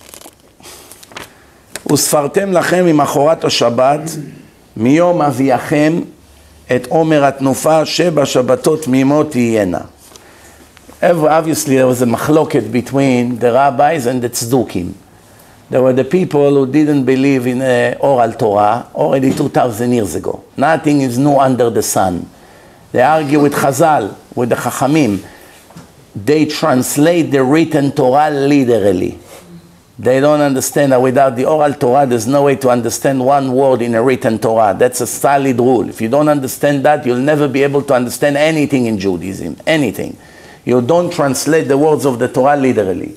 So the way it is is like this. The Torah says, וספרתם לכם ממחרת השבת, the Torah talks about the Yom Tov of Pesach. The Torah didn't talk about Shabbat literally. Whether Pesach fall on Shabbat, so it will be Bachorat or Shabbat. But if it falls on Tuesday, so that will be from the next day, from Wednesday, right? So you begin to count 49 days, and then you reach to Shavuot, seven weeks later. That's when we got the Torah. And we finish to count the Omer, and Shavuot begin. Just like we're doing right now. Why the Torah require to count 49 days before we accept the Torah? 49 days. Why did it have to start from the day of the sacrifice of the Omer? They used to do it. They bring the sacrifice, they cut the Omer, and they lift it up, and they bring it. That was the next day after Pesach. Once they do it, all the wheat that they cut, everything become permitted. It's not considered Hadash anymore. It comes and he makes everything. You don't need Kemach Yashana until Rosh Hashanah. This whole time, for those of you understand what I'm talking about. If not, it's no problem, just to, to get the idea. The question is why the Torah made it attached to Korban HaOmer. The Torah could have said, count 49 days from Pesach. Count 49 days from the Exodus of Egypt. Count 49 days before the acceptance of the Torah. There was many ways to present it. But from all the options that Hashem had, he wanted to link it to the sacrifice of the Omer. Why does it have to do one with the other? And they call it Sfirat HaOmer. It should have not been Sfirat HaOmer. It should have been Sfira to accept Torah. Why does it have to be Omer? What does the Omer has to do with accounting? Very good. Ashrecha, you good. Real good. I, I tell you the truth, I didn't believe someone will know the answer. He answered it in a second. To teach us one solid rule. You want to learn Torah? Beautiful. You want to be a chacham? Beautiful. You want to give your life for the Torah? Beautiful. But do me a favor, make sure you have what to eat. אם אין קמח, אין תורה. You have to first make yourself enough flour to survive. You don't need steaks, you don't need fish, you don't need sushi, you don't need Cuban cigars, you don't need special. Rabbi, this bread, it's six dollars a slice.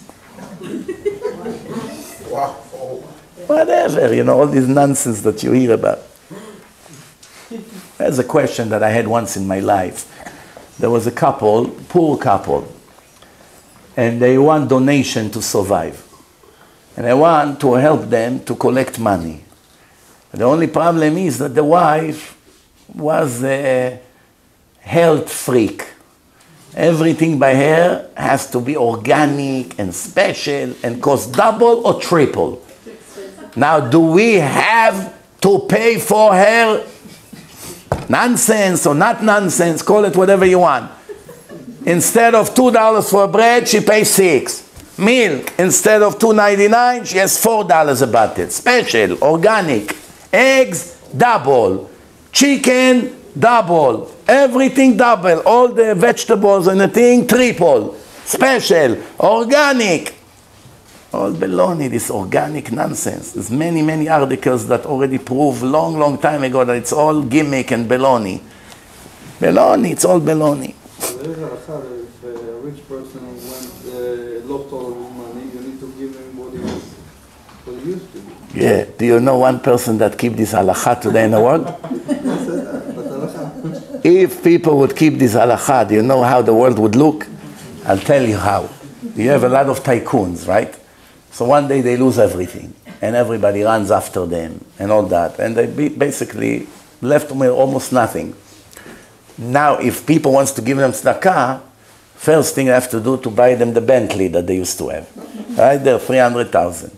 Then to buy them the mansion here in Ocean Parkway for uh, eight million that they lost in foreclosure. And then you have to give them the $75 steak that they used to eat for lunch every day. So basically, one million uh, Jews has to gather together to support one future, one ex-millionaire that became poor. What's the meaning of halacha? I tell you what's the meaning of halacha. Back in time, it was not so critical. What is the millionaire has? Same cabin that you live in, he lived in. There's no water, no toilet, no marble from Italy, no Rolls Royce, no electric, no iPhones A, iPhone B, iPhone 5, iPhone 800, iPhone 500. He didn't have no first class, no this, no, no, none of these things. What do you have? Really? The difference was in the food and in a horse. That's it. Instead of a donkey, you get him a horse. Big deal. Another 200 bucks. It's not such a critical difference. But the difference between a poor person to a rich person today can be a billion dollar. Rich person spends hundreds or hundreds of thousands of dollars every year on food. Poor person, $20,000 a year he spends on food. Doesn't go to restaurant, he doesn't buy $25 a, a, a pound special meat, the best parts of the animal. He doesn't buy this and he doesn't buy that, and you know how it is. So today, with all due respect, it's you won't you won't find people that will do it. So the question is, do you have to give her for her all kinds of beliefs that she needs to pay double and triple for the food, or you say here is eggs, just take the eggs from Costco and enjoy. You have to give her the organic? No, no. You don't get for yourself organic, you get it for her? Says, tzedakah, sus ish. We know, we spoke about it. He already, he already say you have to get him the horse. No, the idiot, he give it to Smishigans, is also giving us chesed. Only the boys are cook nefesh. So the Maharal said the answer to our question, just like you said, im en kemach en Torah, im en Torah en kemach. Many people know the first half of the sentence. Im en kemach en Torah. Who knows this half of the verses? Half of the sentence? The Chilonim. The Chilonim are very good with the first half of the sentence. And who knows the second half of the sentence? The Haredim. Why? The first half of the sentence, if you don't have what to eat, im and kemach and Torah. Why they know it so much, so well? Because they constantly scream to the religious people, go to work and make money and support yourself and learn Torah. Not, not don't learn Torah with my money. That's what they say. And the religious people tell them, if and Torah and kemach, if we won't learn Torah, nobody will have what to eat. Not only us, you also won't have what to eat. We bring the wealth to the world. Who is right? Both. Both is right. If you have to choose which one is right more. Huh? Of course the Haredim. Why?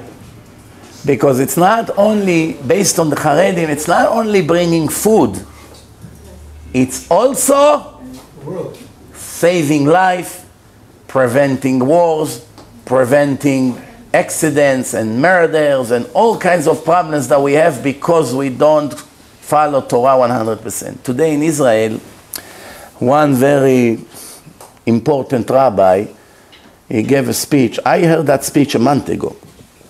I'm surprised it took a month until the media, the rotten, we- wicked, evil media that call themselves religious in Israel, that I talked about them in the last few months almost in every lecture, how murderers they are, they discovered that speech. There's always stupid people that cut parts and send it to the media. Instead of hiding it from the media, they send it to the media to create more hatred between Jews.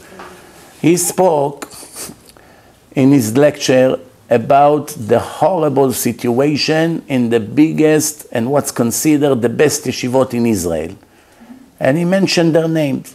One yeshiva had thousands of learners, the other yeshiva has more than a thousand students. And he said that the majority of the students are not learning, they tricking their parents, they go to Israel from America pretending they sit all day and learn, and they sit in a cafeteria, in the clubs, over there in Yerushalayim, in the Midrechov, in Ben Yehuda, watching sport, drinking beer, you know, talking, playing with smartphone all day, and they're really not, they're not doing anything. They're there to enjoy life. Like they say in America, I want to have fun. So he said that the minority are sitting and learning, the majority are fooling everyone. And since those institutions are so big, like a university, thousands of people, it's not a regular yeshiva, you have 20, 30, 50, 100 people, you know right away when the Rosh Yeshiva comes in or the Mashgiach, he knows this table is empty, this one, he knows right away where is Moshe, where is Yitzchak, and he's going upstairs to the dorm and he checks. He cannot run away over there. But if you have thousands of people, you walk into the room, and you, uh, you, you, can, you don't even know some of the students by their names. You can be a year in your yeshiva, you don't, you don't know them by the name. How many times I heard, I ask people that come for Pesach or for Sukkot, they come from this yeshivot, and I ask them, do you know this guy, do you know this guy? The answer is always no. Nobody knows anyone, because there's so many students. Everyone learn, you know, you have four or five friends, the ones who are with him, and that's it. Very hard to keep track. So he spoke about how horrible it became and how this big bombastic yeshivot, it's fake. They fool everyone, they fool their parents, they fool their... And sometimes it's good for the rabbis, as long as they pay the money, they pay full tuition, and the yeshiva receive the money. They, they don't know, they don't run in to investigate who does what. Now they discover it, so they put it on the media, and hundreds of people started to comment, and the usual garbage, the same curses and the same disrespect to the Chacham, and they call him names. Same thing, people have no respect and no manners, and then they wonder why every other person is sick in this world with so many tragedies around us when there's no respect for Talmidei Chachamim.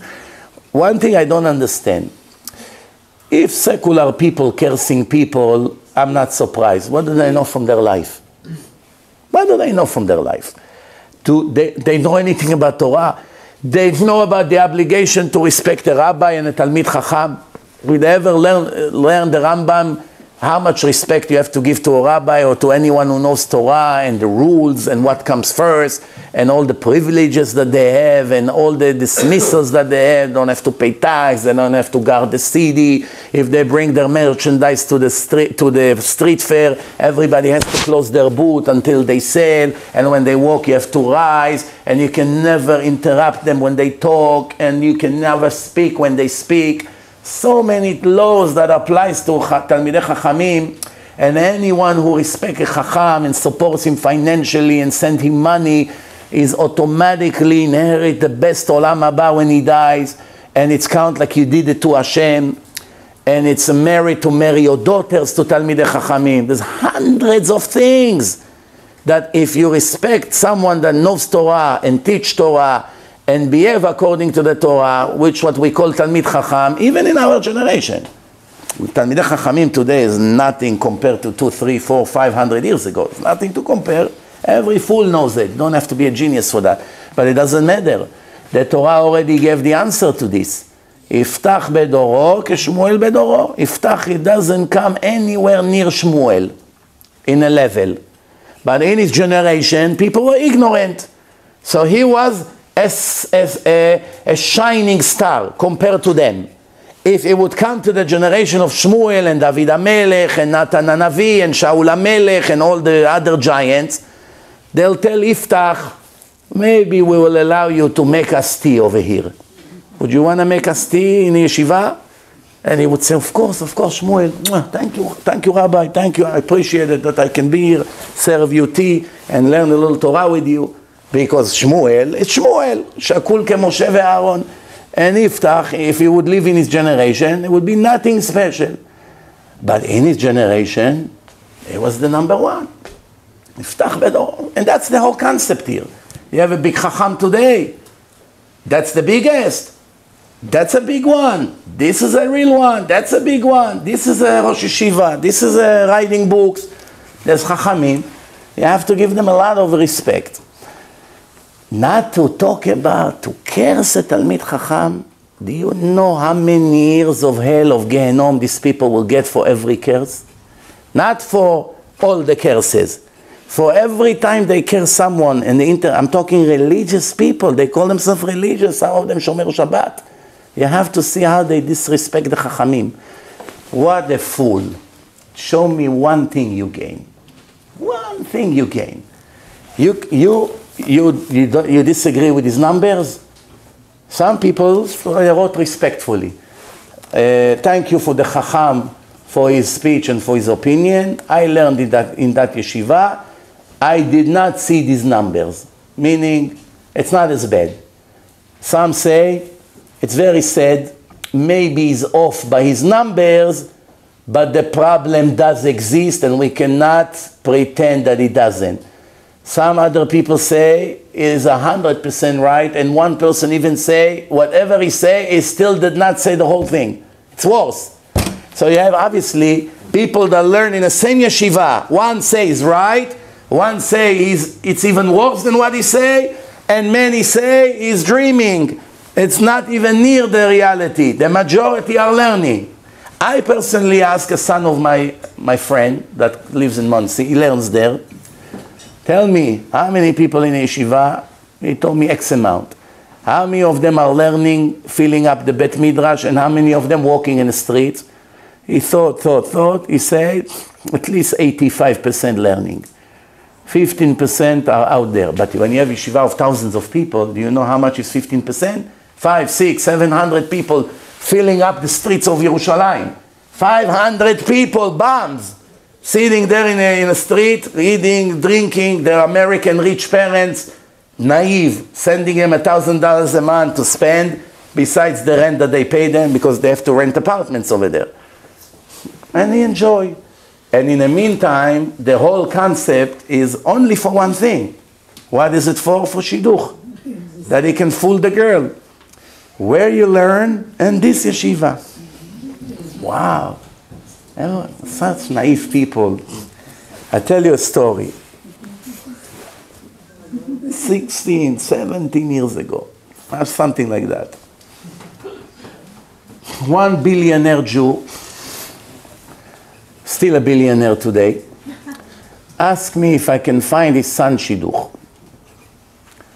Son was young back then, 23, whatever.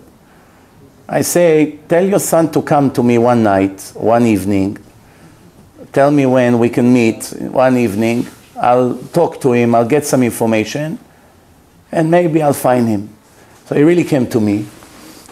And I asked him, where did you learn? I was writing it down. Where did you learn? He gave me the best yeshivot. I learn here, I learn here, I learn here. I said, "Phew, huh? I write, write, write everything. I got all the information. That particular time used to be a girl that comes to my lecture in Brooklyn. Exactly what he's asking for, and even better. Teacher, learning Torah, davening, modest, extremely beautiful, very intelligent, very classy. Exactly what he was asking, and better even. I say, you know what? Perfect shidduch. how, how important is experience in life? Here is this story is a perfect example. Today, in less than a second, I would detect him. But 18 years ago, I was naive. I see a guy, black and white, jacket, you know, comes. I learn in this yeshiva, I learn in this yeshiva. You have references, of course, this Rebbe, this Rebbe. It looks very convincing. Plus, comes from such a very wealthy family. Why would the girl would not jump on it kemotze shalal rav, no? So I set them up. They went on a day, and I'm going like this. Tomorrow, I'm gonna hear what a great shidduch you gave me from both sides. the next day, I don't hear from the guy. I don't hear from the girl. Afternoon already, I say, suspicious. Something is not right. Ma, the guy didn't like her? How can it be? Ma, the girl didn't like him? He's a sweet boy. So I call her up. I say to her, how was it last night? She gave me such an attack. Today I cannot forget it. Rabbi, I'm so surprised at you. What did you think? Just because you set me up with a son of a very wealthy people, that I'm gonna like him? How did you find anything mutual between this guy to me? So I say to her, What do you mean? She said, I sat with him for almost two hours in a date. He could not tell me one sentence Dvar Torah. I said to her, Excuse me? He went to this yeshiva, that yeshiva for two years, this yeshiva, that yeshiva. Listen carefully. She said, I don't know where you're telling me these things from. I wanted constantly that he will tell me even one tiny things about Parashat Shavua, maybe as a Gemara he knows. All he talked to me is about real estate. Shem Tov, don't ruin the story now. Why are you raising your hand? You have to know where to raise the hand. Wait another minute. Oh, you want the number of this girl to go on a date?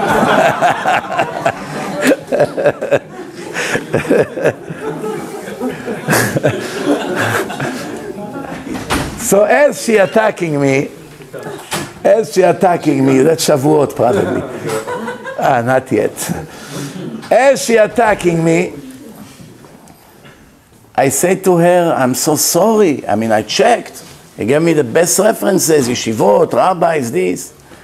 Then I realized that some of these kids can go to any yeshiva you want just because daddy is writing a nice check. That's all. So they keep him there, in, out. They won't even bother tell the father, your son is a picture on a wall. father is thinking, while I'm making billions, my son is becoming the new Rambam. Soon I'm gonna build him a yeshiva. And what does he do? Only Hashem knows what he did when he was in these yeshivot. You understand? So this is it. But this girl told me when we finished the conversation, I want a bachur yere shamayim that only speaks Torah. Don't want business, don't want real estate, don't want to talk about this and that. That's not what I'm looking for. I want someone fully, fully religious, not one tiny problem with him.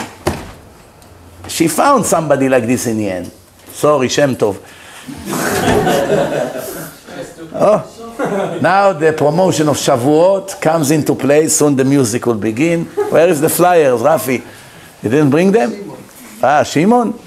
Yofi, Yofi. Yes, Shem Tov. Uh, now women are, are that way, some women, they tell the, the, the guy before he goes on the date, don't speak about Torah too much, because the girls don't want to hear. they just wanna But if the girl asks you in a date to speak Divrei Torah, like her, Oh, she asked it, and you don't have what to say, oh, it's different. But you know, you didn't say that she asked. I did say that she asked him. That's what she said. Now, shh, now, so, I, so we said that the Torah started the counting from the Korban HaOmer. Why? To teach us, im en kemach en Torah. You have to make sure you have parnasa. Today, unfortunately, it's almost impossible to work and learn at the same time. Very few people are able to do it. Very few. People who can sell a little bit products on online, so they go after yeshiva two, three hours at night, they put some products, people buy it, they pack it, they ship it, they make hundred dollar here, hundred dollar there. No, they survive a little bit. That's very nice. If you can find some kind of a job that does not require more than two, three hours a day, and the rest of the day you can learn 10 hours like a full day yeshiva, what can be better than that? But most of the people, they need to find a physical job, whatever it is, real estate, working in a store, driver. To make a living, unfortunately, takes full-time job. If you go and work two hours, the transportation would not be covered. Well, how much you gonna get? Even you make thirty dollars an hour, which is considered good. You work two, three hours, you make sixty bucks. You can live with that. Take off the gas, the tolls, and the taxes. You have left with nothing. Baruch Hashem, you bought yourself a bagel today. you know, after three hours of working. That's the problem today. Why it's almost impossible to do both. Therefore, you either work or you learn. That's the way the world became. Rambam, 800 years ago, he, he spoke very strongly against people who live from charity and learn Torah. Said, better you go to work, you work, you make money, go learn. Don't collect. And the Rambam said back then that the Chachamim of his time, the rich people were begging them to give them money. Let's make Issachar and Zvulun. I'll give you everything you need, Rabbi. You learn Torah, I'll support you, your children, everything, and we'll, we'll be partners in the Torah. And they refused to take. Why they refused to take? Because back then, 800 years ago, what expenses you had? You found yourself a property, you build yourself a shed house from wood. That's where you you have no electric, no gas bills, no uh, appliances, no car, no tolls, no gas, no health insurance, no uh, uh, amazing saving every other day, you know, and uh, evergreen supermarket. Back then, only 30 years ago, the supermarket was the size of the bathroom here. Today, it's the size of a football field and keeps growing. That shows you how down we go spiritually. The sizes of the supermarket shows how we are going, getting lower and lower in our spiritual level. Because back in time, people needed 5,000 different kinds of chocolates. You need a tour, Hershey Park. The supermarket, they move Hershey Park into the supermarket. 500 different kind of bamba and bisli and pretzels and 50 different kinds of ice creams and this and that and 500 cookies. And uh, you go and find three items. You spend three hours in a supermarket and you come with a little bag like this. Why? They mess up your life. Somebody normal has to go he has to come with his motorcycle. Looking for the things you know. So this is what's going on. But in the time of the Rambam, every some every person wanted to learn Torah. Go work two hours a day in the field, sell some cucumbers, fix some shoes, do something, make 20, 30 dollars a day. It's enough. You didn't need to buy food. Why? Everyone had chickens in his backyard that give you free eggs. Everyone had few goats and sheep that gives you milk and you make your own cheese or your daughters, because daughters did not used to go to yeshiva. There's no tuition for girls. Girls worked at home. You have three or four, Baruch Hashem, helpers. They do everything in the house. They take care of the sheep, they take care of the cows. The cows give you food. Every once in a while you slaughter an animal. You eat meat only on holidays. It's not like today, every day, one pound of meat American consume. You have maybe two pounds of meat a year a little bit, half a pound Rosh, uh, uh, Rosh Hashanah, half a pound Sukkot, half a pound uh, Pesach, and half a pound Shavuot. Here you go. One kilo of meat. Two kilos of meat per year. Today, in America, 124 kilo of meat a year per one American. 100 kilo means 2.2 pound. So it's 300 pounds per American a year. Almost a pound a day. Baruch Hashem. Even in China, I went from 4 kilo a year to 79 kilo a year. Chinese getting fat. High tech is booming. Made in China, made in China, made in China, everything made in China. They begin to eat more meat, Baruch Hashem. That's the way the world. Brazil, number three in the world in consuming meat. Brazil. Well, Brazil is not such a rich country, but the Brazilian, 6 a.m. Already on the grill. like this. You know? Anyway, so the idea is like this. In the time of the Rambam, first of all, it was possible to go to work because the women used to get dressed.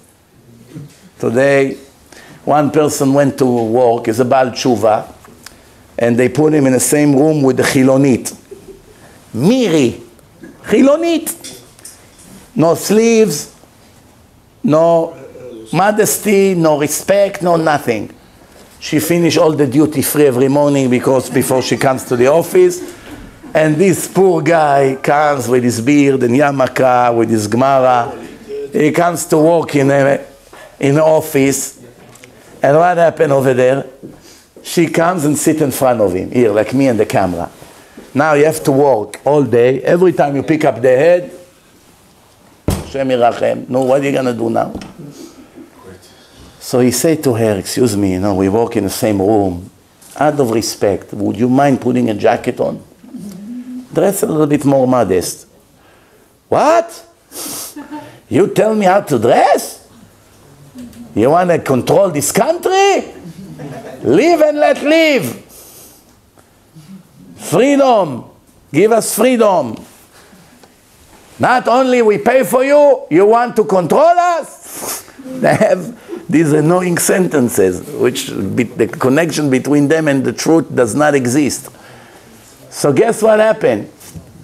He came to his rabbi, said, Rabbi, I make a good salary over here, but I cannot destroy my soul for money. Should I quit or not? Should I count on Hashem to give me parnasa somewhere else and feed the children? Should I first find a job and then leave? Should I leave right away because I cannot be there another minute? What should I do, Rabbi? The rabbi told him, it's a big problem, but before you leave, let's try one thing. Tomorrow when you go to work, stop by the gas station, take, put, take a suit that you don't need, put some gas all over the jacket, and walk into the office. As soon as she smell your new perfume, she's gonna faint. You know what it is? A gas station in your office? So she's gonna come to you and say, what is this? Tell her it's my new perfume. From now on, that's what you're gonna smell every day. So she's to start begging you, no, no, I cannot do it, I cannot breathe. So tell her, live and let live. it's a free country. And from there on, you make a deal. And that's exactly what happened. He came the next day. What's this, Moshe? What's this? Don't you like my new perfume? Come on, don't joke with me. I love it. Amazing. no, no, don't do this to me. Live and let live. Okay, okay, I got the point. Don't worry. Tomorrow I'm gonna be Rabbanit. she came like Rabbanit. Now I want to finish the lecture. Shh.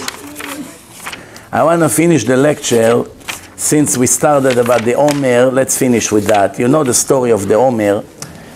You see, we mourn. We don't listen to music. We grow our beards. We eat all day like this. and other things. And other things. And the reason that we do it because 2,000 years ago, Rabbi Akiva and his 24,000 students had a very big tragedy. What was the tragedy? From all the 24,000 students, only five left. And the Torah started with these five. I don't know how they had the power to rebuild Judaism from scratch. It was mamash gone. And they restarted everything.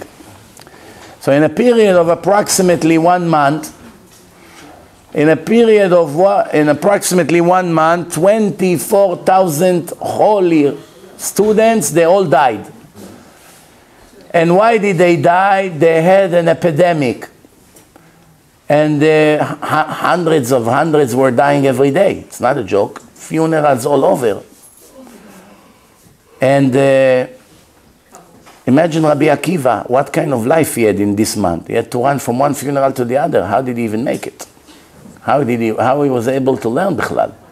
Another one of his students died, another three, another one, another two. An epidemic. Why did they all die? Shocking, shocking. Why? They did, did not respect each other enough. They respected each other much more than we do. But in their level, it was not enough. Not enough.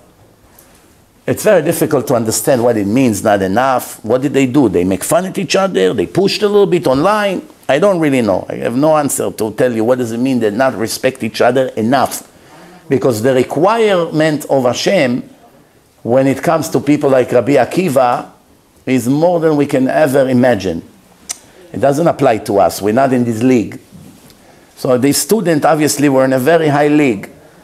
But one thing I want people to know, we cry for all the Holocaust and the pogroms and many, many tragedies that we had throughout history. Millions of millions of Jews were slaughtered and burned and murdered in all kinds of ways and tortured and lost their property.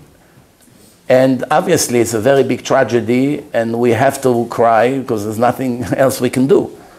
But not that many people understand this kind of tragedy. This was a spiritual tragedy.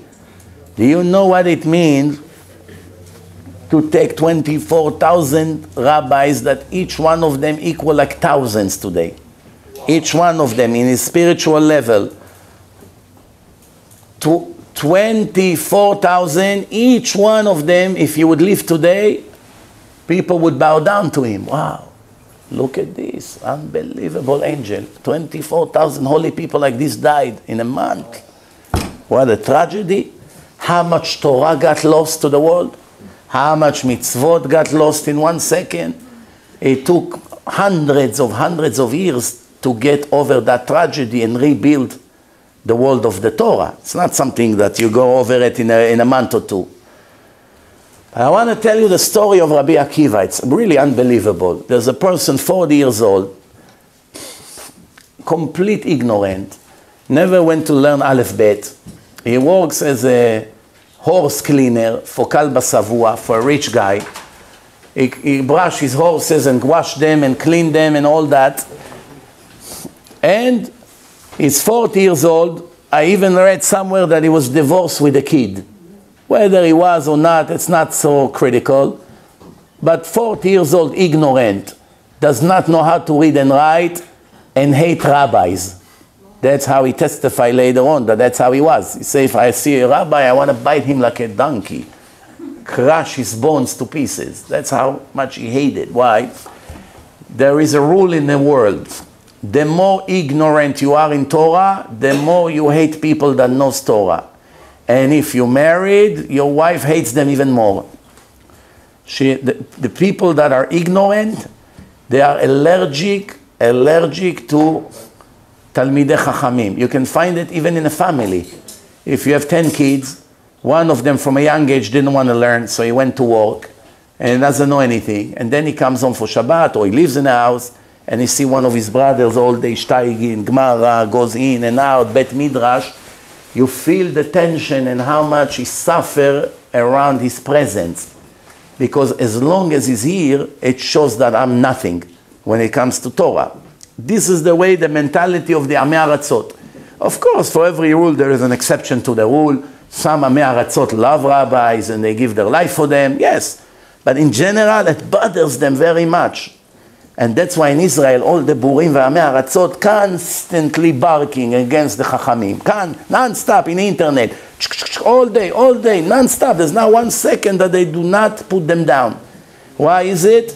They cannot live by seeing them, learning and knowing. That's the way it is. So Rabbi Akiva admitted that he was like this. So what happened? Imagine such a story now. You have a Gvir, is a very wealthy person. He has a worker 40 years old. The Gvir has a daughter that she's in Bet Yaakov, the best student. Nice, smart, pretty, very rich. Hundreds of Talmidei Yeshiva are standing online by the Gvir begging to marry his daughter. This guy from Ponovich, this guy from Mir, this guy from Hebron, this guy from Lakewood. Lines. The Shadchan runs, Mr. Kalba. Hello, uh, I, I don't know where to start. Look, this guy, top, the best in a shiur in Mir. This guy, Hebron, his father is Rosh Yeshiva, he's a Ilui, he doesn't stop learning for a minute. He comes with resumes of the biggest tzaddikim. He comes to his daughter, no, Moshe, Yitzchak, Avram, Yaakov. Look at them, they're all Talmidei Chachamim, nice, from good families. Choose! She said, I want this guy, this Chiloni over there, Itzik, with his ponytail, 40 years old, divorced with a kid. The kid is coming, you know, over there like this, with this t-shirt, Michael Jordan in the front. Abba, what can I, can I help you something? Yeah, take the garbage of the horse, go over there. She's cleaning, brushing the horses. And she say, Abba, forget about Moshe, forget about Avram, forget about this Ponovich, Hebron, forget about this. I want him. imagine, imagine the moment that you discover that your daughter, something is not working here. Say, Racheli, come on, wake up. Fine, Rabbi, smicha, blanket, pillow, everything. Smicha, rabbis, everyone waiting online for you. What, you cannot find one normal Talmid Chacham? No, no, Abba, I want this guy. Why you want him? He's shy. He has, he has a good heart, good midot. Are you normal? It's cleaning the garbage of the horses. Smell him. What's going on with you? That's what I want. I don't have to tell you what went in the house. What happened eventually? She came to Rabbi Akiva. She broke all the rules. She said, Akiva, if I marry you, she knew he likes her, obviously. If I'll marry you, would you go to yeshiva? He say, I don't know even Aleph Bet. I don't know how to read, nothing. She said, don't worry. You learn like everybody else. Would you go to yeshiva? Yes, but it's not like today you go to yeshiva, you come back with your father's Mercedes in the evening. You know, it was a different story. You go to yeshiva with your donkey. By the time you arrive, already one year passed until you finally arrive there. And then you come back, it's almost six months to come back. No, what? So you stay there. There's no telephone, no hi, I'm on Skype. Turn on your cell phone. Look, show me the yeshiva. Look, Abba, look. You know, different world. different world. so, Rabbi Akiva agreed to go. But in the beginning, he was embarrassed to go. So she told him, you know, take a donkey, put a plant on the back of it, go back and forth in the market. So the people started to say, excuse me, what are you, normal? What is this? You're walking with a donkey like this all day. And they made fun of him. Every day they got used to him. After a week, everyone became his friends. So he said, why did you make me walk like this all week? She said, I just wanted to tell you that the shame, it's only one, two, three days, maximum a week, and it's gone. Everyone got used to you. That's it. Now you became normal. Nobody thinks you're crazy. You're walking with a donkey like this. Now you go to yeshiva, kindergarten. They'll give you a little chair, you know, four years old, five years old, pre 1A. You sit on a little table over there in class. Pasach Aleph A. Pasach Beis Ba. That's it. You go into the.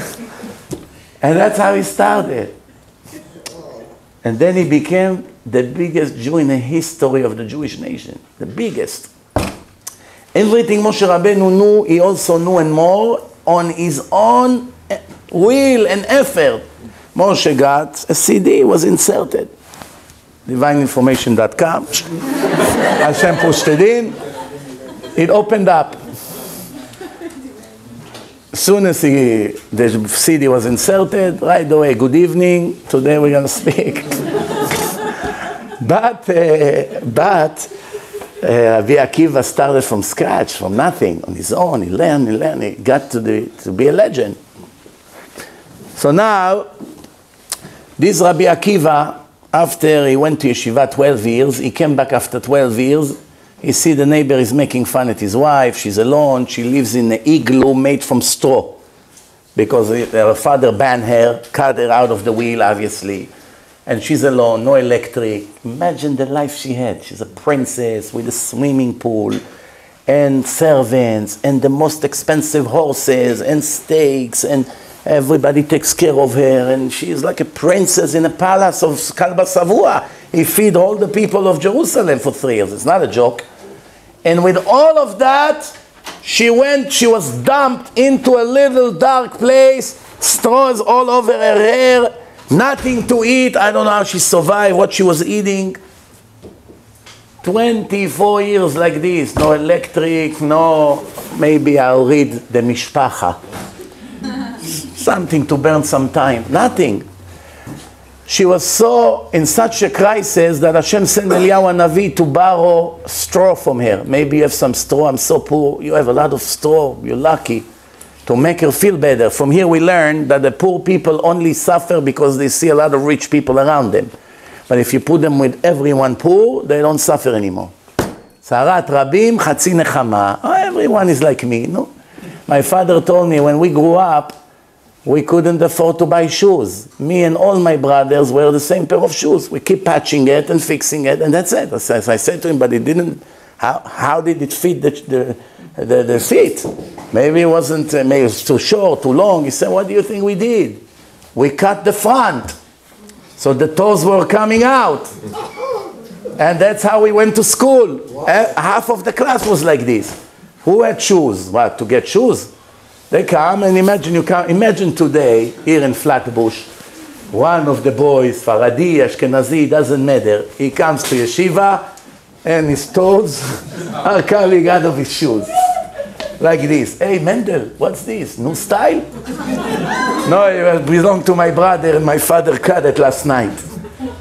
And my toes come out. Imagine what the cruel kids will do to him. All day laughing everywhere, over there, Facebook, Facebook. They even put a film on YouTube about his feet. But back then, that's how it was. What else do you have? Uh, 90% uh, of the kids are poor. Well, what did they have to do? So because of that, nobody suffered. Because everyone was like that. That's, that's the way life was. The British were in charge in Israel. You had a few stamps, food stamps. You got a little bit flour and some bread, and that's it. That's how they survived. So Rabbi Akiva went, he came back after 12 years. He heard his wife telling the neighbor, if I could tell my husband to stay there for another 12 years, I would tell him. Right away, turn around, and he went and he, for another 12 years. Everybody asked the famous question, what kind of cruelty is that? You're now standing, you're watching, you're seeing your wife after 12 years, you didn't see her, you're not coming in for one night? Come on. Is it normal, such a thing? 12 and 12 is not 24. So uh, the, the famous answer, if he would go in even for a day or two, it will bring down everything, and then he will go for another 12, it's a new beginning. Without the break, going back 24 years attached without breaks is much more than 12 plus 12. That's the rule. If I go in, stay, I missed you, wow, it's so great to be with the husband, I forgot how it is. Akiva, let's take a walk, let's go next to the beach, we'll look at the birds. Slowly, slowly. Akiva, you know what? Maybe you can learn here. We'll find something local. He knew right away, he went back to Yeshiva. Tw- make long story short, we skipped 12 years and he showed up. He showed up with 24,000 students, and this woman, Rachel, by now she became older. She comes like this, moving the guys, coming in, and everybody scream at her, Hey, woman, what is this? It's not modest. Get out of here. Why are you pushing your nose between all the men and all these rabbis here? Go to the lady section over there. No, no, I just want to see who's this rabbi over there. And then all of a sudden he saw her. Can make a Hollywood film about this. We're very, very dramatic. Then all of a sudden he saw her. And he said, Move, move, everyone. All the Torah we learn belongs to her. She's obviously in the highest level in heaven, not needless to say. Okay. Now, right away, his father-in-law came and he said, I'm so sorry. He didn't know it's him. But now he has a beard, he's a chacham. So he said to him, you know, I made a vow, I miss my daughter. He asked him, if you knew that your son-in-law one day will be a big rabbi, would you make the vow? He said, of course not. Even if he knew how to read and write, one thing of Torah, I wouldn't, I would not ban him. But she took the worst guy, doesn't know anything from his life. Relax, I'm your son-in-law. He canceled his vow, right away, he gave him half of his wealth. So Donald Trump cut right away the 9 billion, he gave him a check, 4.5 billion. Rabbi Akiva became a millionaire. That was the beginning. He was 64 years old. Then he has five more sources that brought him another fortune. Fortune from here, fortune from there. He found a treasure. The wife of the Caesar, uh, uh, the, the, Roman Caesar, she, divo- she divorced her husband or he dies, or she took his inheritance and she brought it to him, all kinds of things. So, so Rabbi Akiva became very, very rich. Now, one day the Romans came to Israel and they said, no one is allowed to teach Torah. If you teach Torah in the public, you're dead. And there was one Chiloni over there, Papus. He said to Rabbi Akiva, hey, why you disrespect the government? The Goyim say, no Torah, why you teach Torah? You want us all getting killed? So Rabbi Akiva said to him, you know, the fish were trying to run away from the net of the fishermen, and the fox was standing over there and say, hey, buddies, fishy, come fishy, get up to the land, I will live with you and protect you. So the fish told him, hey, you fool, we are here in a place that we know how to maneuver the best. This is our home yard.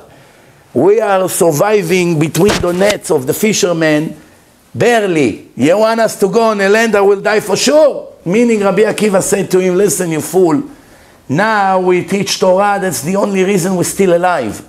Without Torah, we'll be dead already with these cruel Nazis.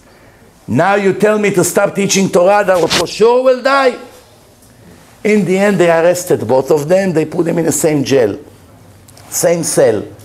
So now the Chiloni is there, Papus, what the name he has, and Akiva, both of them together in the same room. So he said to Rabbi Akiva, "You lucky, you got arrested for Torah at least. What am I? What was I arrested for? For suspended license. Me and you, the same end. We both in the same thing. Look." What happened in the end? They took Rabbi Akiva to kill him. He was 120 years old. Imagine, God forbid, imagine, God forbid, mamash two more minutes and we finish because the Mashiach arrives. Don't, don't about it. They said the Mashiach died and will come back, no? Some people claim like this. So, shh. He was 120 years old. Imagine, shh. try to imagine, God forbid. I just say it for us to just try to imagine the tragedy that the Jewish nation had. Imagine, God forbid, today we have the oldest Chacham in Israel is Rav Steinman, 103 years old. May he live longer life, Bezrat Hashem. So imagine, Chas v'shalom, million times, God forbid, that the Hamas will kidnap him, Chas v'shalom, and take him to Gaza, and now they film it, and they show it to the whole world, and they take their knives, Allah Akbar, screaming, all this, the zoo. And they begin to scream, and all the Jews now watching, Chas v'shalom, such a thing that they cut the biggest Chacham in the world, 120, not 103, Rabbi Akiva. And they cut him to pieces, and all the Jews standing in the audience, they scream, they cry. Big tragedy. Not only him, nine other like him, ten like this. All the Gedolei HaDor. This is why we cry on Tisha B'Av on the floor every year. So such a tragedy, and they are saying, the students scream to Rabbi Akiva, why are you not doing anything? You can say the name of Shem HaMeforash, they're all gonna die. And he said, No, I wanna die. All my life I waited, all, all my life I say I love Hashem with all my heart and sacrifice my life for Hashem, Shema Israel. Now I have an opportunity to do it and I'm gonna avoid it. So he said Shema Israel and his neshama came out. When he said Echad, the neshama came out. And what did they do? They cut him to pieces and they put him in a butcher shop the Romans, and they sold their meat, mamash, they put a sign. This is the meat of the Yahud, the Jew. This is what Moshe Rabbeinu saw moments before he passed away. Hashem showed him this tragedy, showed him all the generations to come, and he saw that moment. And Moshe Rabbeinu said to Hashem, how can you do such thing? This is the reward of the Torah. So Hashem said to him, don't ask questions on what I do when, uh, when I created the world, I made it in judgment. And then I saw that almost everyone here is a loser. Nobody can pass the test. I mixed the mercy in it. And now people surviving with my requirements. But those who are close to be perfect in a very high level, I still judge them like it was. In a judgment, no mercy. It's enough one sin in 120 years, that's it. Imagine what it is. So after that, after that, Rabbi Akiva passed away. He's in the highest place in heaven forever and ever. This is the story. This is the tragedy of this Yemot HaOmer. But before it happened, his 24,000 students that he came back after so many years of learning, first they all died. Ma, Rabbi Akiva did not teach them Torah. He didn't teach them Derech Eretz. He didn't teach them how to behave. Of course he did. But to change the midot is very difficult. You should know this. To change one bad trait, it's harder than to finish all the Talmud. It's easier to finish the Talmud as hard as it is than to change one midah. Anger, jealousy, the things that I see, what jealousy does to people, it's so scary. Mamash, it's dangerous. Jealousy. Somebody does something, the jealous person did not want to do it. He's going out of his way to do it to hurt the other. Like the famous joke that Eliyahu Navi came to one Jew and said to him, Today it's your lucky day. Everything you want from me, you're going to get.